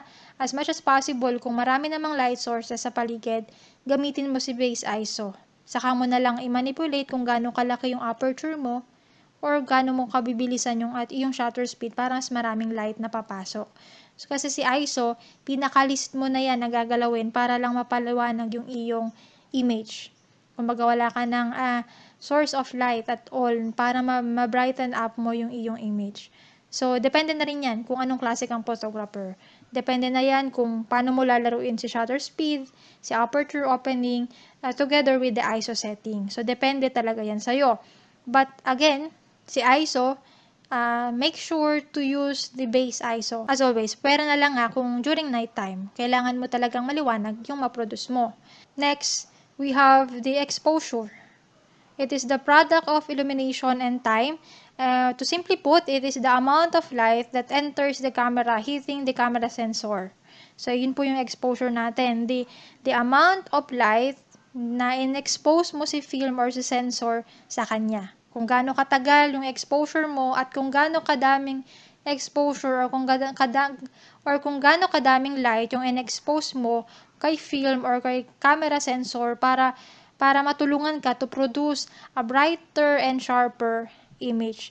Yan po yung exposure na tinatawag natin. Na kung saan, di ba, if uh, there is not enough light uh, that enters the camera, ibig sabihin, maliit yung opening mo, o yung aperture opening mo, o mabilis yung shutter speed mo, uh, the image will be too dark, or yung tinatawag natin na underexposed. And then, if too much light yung na-receive natin, or yung pumasok, it will turn the image into bright, or yung tinatawag nating overexposed. Again, too much light, 'di ba? Overexposed and then konting light yung ma-receive natin is underexposed. Na-discuss ko na 'yan sa inyo. Wherein nabanggit ko din nung una na na kapag siya is na overexposed, 'di ba? Sabi natin dito, kapag overexposed or too much light yung na-receive natin, maliwanag yung mapoproduce mong image. But may binanggit ako doon, naalala ko siya na na it's either will be too light or too bright or too dark. Yung tinutukoy ko doon na too dark is the film itself. The negative film na kung saan it becomes too dark, 'di ba? Kapag ito is na overexpose. Yung film kapag siya is na develop mo is magiging sobrang dilim. And it is also possible if the film reduce too much uh, I mean if the film is receive too much uh, developing time. So, yun yung nangyayari. Uh, masyadong didilim or masyadong iitim yung iyong uh, negative film. But, kapag sa digital photography natin, di ba, too much light, sobrang liwanag yung mapoproduce mong image. And then, kapag sobrang uh, unti naman yung light na inalaw mo na pumasok, di ba, ibig sabihin, maliit lang yung opening mo, yung shutter uh, speed mo mabagal, and then yung aperture opening mo maliit. Ibig sabihin, underexposed yung possible mong maging resulta o it will look like a darker or muddy print and so on. As compared dun sa overexposed na sobrang liwanag. Okay, now may tinatawag tayo na exposure triangle or yung three pillars of photography. Again, the aperture, the shutter speed, and the ISO which makes uh, the three sides of the triangle or the exposure triangle nga. They work together to produce a photograph that is properly exposed. Wherein if one uh, variable or if one portion of this changes, at least uh, of the others or the other uh, features must also change to maintain the correct exposure. Kapag pinalitan mo si shutter speed, papalitan mo of course si aperture, and so on. But then again, si ISO is technically not a part of the exposure. Nakakatulong lang siya to brighten the image, but physically, hindi siya kasali dun sa exposure natin na nag nagde-determine kung gaano kadaming light yung pwede nating mapapasok physically. Because ISO, digitally, siya is nag interfere lang kung gaano natin mapapaliwanag yung image kapag madilim yung, yung, uh, yung environment natin kapag nagtitake ng photo. Again, we're in si shutter speed. Again, it is the length of time na allowed yung uh, yung light to hit the sensor. O na kung saan, di ba, the 1 uh, one second as compared to 1 and a 1,000 of a second, mabagal to as compared dito. Kasi ito, mas mabilis ng ilang stop. 1, 2, 3, 4, 5, 6, 7, 8, 9. Mas mabilis siya ng ganong kabilis.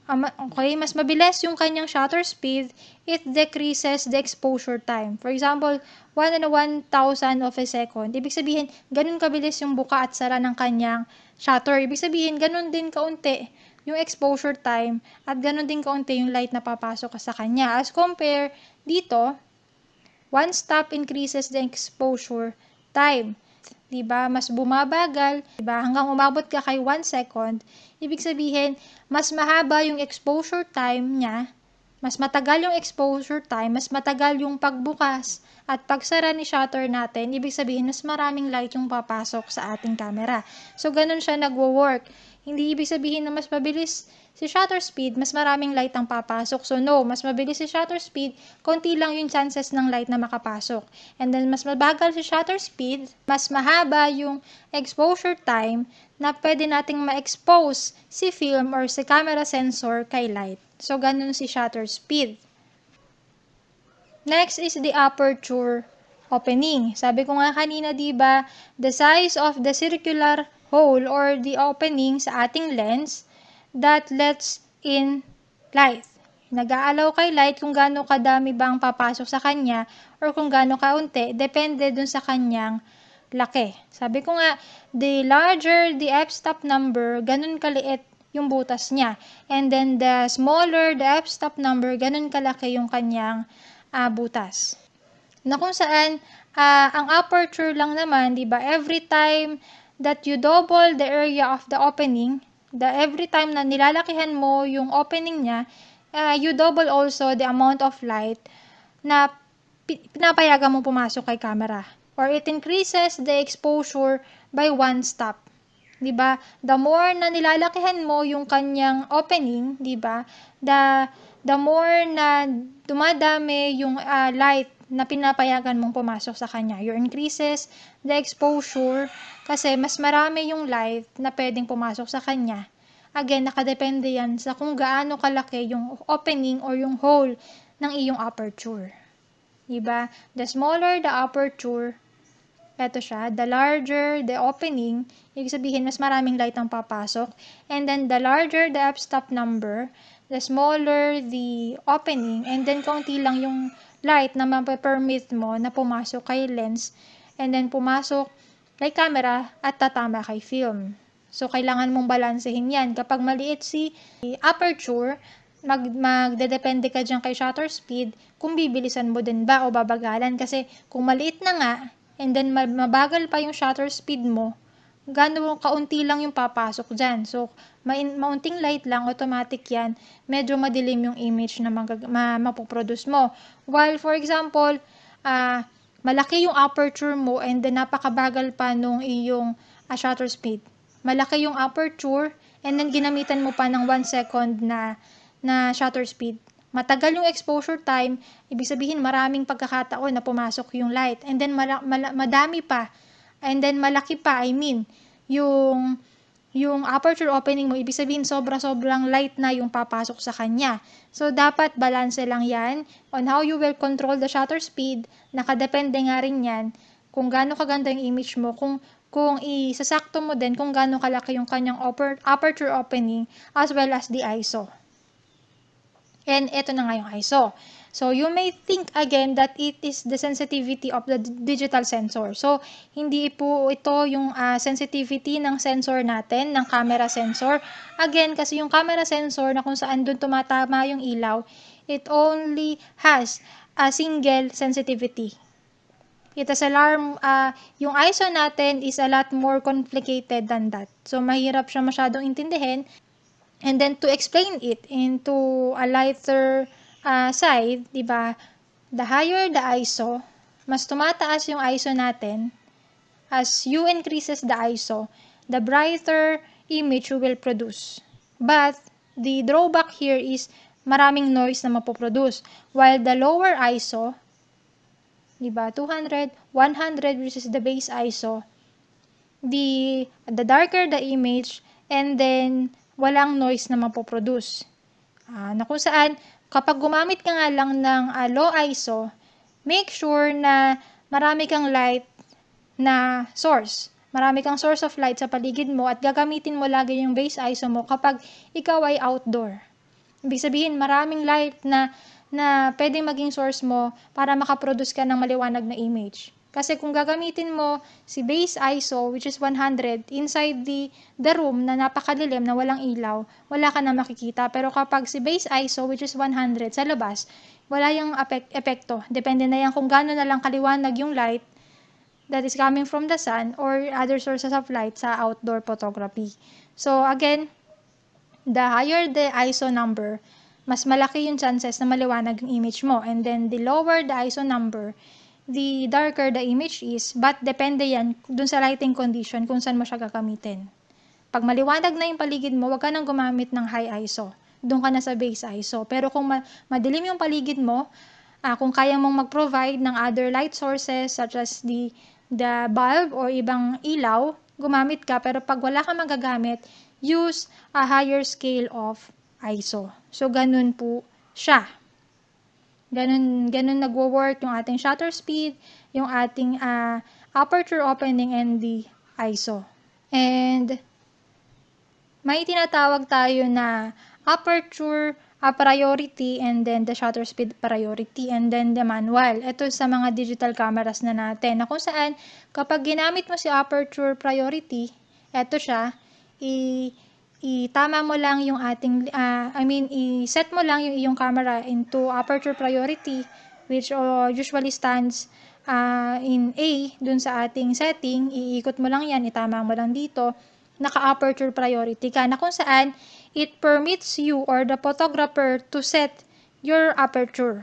Kung anong gusto mong aperture opening, depende sa'yo kung ano yung isa-set mo.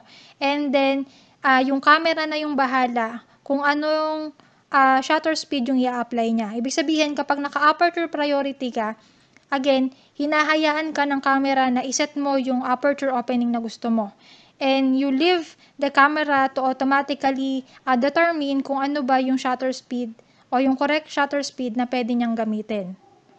While the uh, the shutter speed, 'di ba? The shutter priority, ganun din. Ikaw ikaw yung mag-set ng shutter mo and then the camera na yung bahala dun sa aperture and then dun sa ISO. And we have the manual mode na kung saan uh, sa lahat ng uh, settings na 'yan, 'di ba? ikaw yung bahalang pumili kung ano yung gusto mo. Ikaw yung bahala kung ano yung mag-work that is best for your situation. But the only catch here, o yung isa sa magiging problema mo kung hindi ka professional na na photographer, 'di ba? You will need to know uh, how to adjust the settings, the shutter speed and the aperture and the ISO to maintain the proper image uh, brightness. Kasi kung wala kang alam sa photography, hindi mo pwedeng i-manual mode yan kasi hindi ka marunong mag-set ng aperture, ng shutter speed, and the ISO. Pero kung marunong ka, uh, ikaw yung bahala mag-explore, 'di ba? The more you explore, the more ka na matututo sa photography. At yun po yung work again ng tatlong pillars ng photography, the ISO, the shutter speed, and the aperture opening. And then last natin is the depth of field. Sabi ko nga kanina, di ba, si aperture is may kinalaman sa depth of field. So, discuss muna natin siya. It is the zone of acceptable sharpness or the area or zone of the photograph from front to back which is in focus or the range of distance in a scene that appears to be in focus and will reproduce as being acceptably sharp in an image. Na kung saan, it is the space dun sa image mo na gusto mong kuhanan, na gusto mong maging sharp, or mag gusto mong maging focus lang. 'di ba? You have a larger depth of field. Ibig sabihin, gusto mo lahat sa image mo o yung sakop ng coverage ng image mo is uh, clear and sharp yung ma-produce. While for example, you have you want to have a shallow depth of field na kung saan yung gusto mo lang bigyan ng focus sa picture mo or dun sa image mo, yun lang yung sharp and then the rest, 'di ba? Yung foreground and then the background is blurry. Yun po yung depth of field na tinutukoy natin. Again, yung space sa image mo that is relatively sharp in focus uh, depending on the distance between the nearest between the nearest and the farthest elements that are sharp and in focus in your photos. 'Di ba? Na kung saan Depende sa iyo kung gusto mong sharp yung image as a whole or merong portion of your of the image na kung saan gusto mong bigyan ng focus and then everything uh, on the image as a whole is blurred aside from the thing or the subject na gusto mong bigyan ng focus. Again, the depth of field is the distance between two subjects, the nearest and the farthest to your camera lens. And depende na yun sa iyo kung gusto mong bigyan ng focus lahat as a whole, yung image na gusto mong kuhanan or yung the nearest to you or the farthest to you. Pwedeng, pwede yung baliktad. Ito yung maliwanag and then ito yung blurry. So, depende yan sa'yo. Yun yung depth of field na tinutukoy natin. Na kung saan, dito sa example natin, we have here a small or a shallow depth of field na kung saan you have a portion in your image na yun lang yung gusto mong i-focus. And then, the subject, this subject or flower is in focus while the background is being blurred. You have a shallow depth of field. While, while here, you have a larger area in focus, you have a larger depth of field or yung deep depth of field na kung saan uh, yung the image as a whole, di ba? You have the larger area and the image as a whole is sharp and clear. And that is the larger depth of field na tinutukoy natin as compared dito na you have uh, some uh, something that is in focus, hindi siya kabuuan, and depende na sa'yo kung gusto mong blurred yung front mo, eto yung blurred, o kaya naman yung background yung blurred mo, at eto yung maliwanag, eto yung malinaw. So, depende na yan sa'yo. It's either the foreground or the background yung magiging blurred. So, that is the shallow depth of field. So, sabi ko nga, at first, yung na-discuss ko na, si aperture opening is may kinalaman dyan kung gaano mo mabibigyan ng shallow or ng large or deep depth of field. Depende yan sa opening. If gusto mo ng ganyan na uh, magkaroon ng larger uh, depth of field, di ba? You should use a uh, smaller aperture opening, di ba? The smaller aperture opening, gumamit ka ng malaking f-stop number. Kung gusto mong lahat ng yan is sharp and clear, you have to produce a, uh, you will now produce a sharp uh, image, di ba? A larger depth of field, gumamit ka ng maliit, again, aperture opening, na kung saan malaki yung f-stop number. Wherein, sa kabaliktaran, kung gusto mong magkaroon ng uh, effect na ganyan, na blurred yung background or yung foreground mo o yung uh, object mo that is nearest to the, uh, the lens, di ba? Depende na yan sa'yo. Gumamit ka ngayon ng malaking aperture opening na kung saan meron siyang maliit na f-stop number. So, ganun siya. The wider the opening, di ba? The, the, the shallow depth of field is and then the, the, the narrower the opening ng ating aperture. So, ganun siya ka-sharp yung image na mapoproduce. So, you will have now a large depth of field or deep depth of field. So, with regards to depth of field, meron tayong uh, factors affecting the depth of field in photography. At napasimulan na nga natin dyan si aperture. May kinalaman si aperture kung gaano ka-shallow or gaano ka-deep yung iyong depth of field. So, hindi ko na ulitin. Pangalawa is the focal length. Yung focal length natin is may kinalaman kung paano natin mabibigyan ng shallower or larger depth of field yung ating image. The shorter the focal length, the larger depth of field, and then the larger the focal length, di ba? Yung, yung magnification mo, mas, mas malaki yung sakop, mas kaya mong ma-zoom in yung, yung image mo, ma-focus yung image mo, the shallower depth of field. Wherein, the shorter the focal length, mas malaki yung coverage mo, and then the larger depth of field or yung sharpness ng image or the yung the clearer the image, yung pwede mong ma-produce. Yung focal length na natutukoy natin kanina, di ba? The, the smaller the millimeters, ibig sabihin, mas malawak yung coverage niyan. And then, the larger the the millimeter or yung kanyang focal length, di ba? The, the higher the magnification is, so capable siya of zooming in or yung uh, making the subject in focus, resulting to the shallower depth of field. Kaya mong mag-focus and then kaya mong maging uh, blurry yung background niya. While the focusing distance, nakaka-apekto rin siya, di ba? Yung distance ng lens mo kay subject itself. Di ba? The further the subject you were focusing, the larger the depth of field. Mas malayo ka sa subject mo, mas malaki yung sakop mo, and then the sharper the image is, di ba? The larger the depth of field, yung sakop ng iyong nakukuhanan.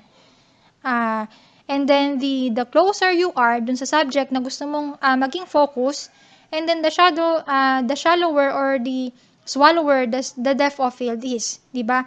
Kung mapapansin niyo kung magpi-picture kayo, mas malapit kayo sa gusto mong bigyan ng focus, nagiging blurry yung background niya. At iyon yung yun yung kinalaman ng focusing distance mo. Mas malapit ka, mas shallow yung depth of field mo, possible na maging blurry yung background and then mas malayo ka, mas malaki yung scope ng iyong depth of field and then mas sharper yung image mo, mas clearer yung yung image mo as a whole. Depende sa distance mo sa gusto mong kuhanan. And then lastly, the depth of field uh, may relasyon siya sa sensor size o yung dun sa size ng digital sensor mo.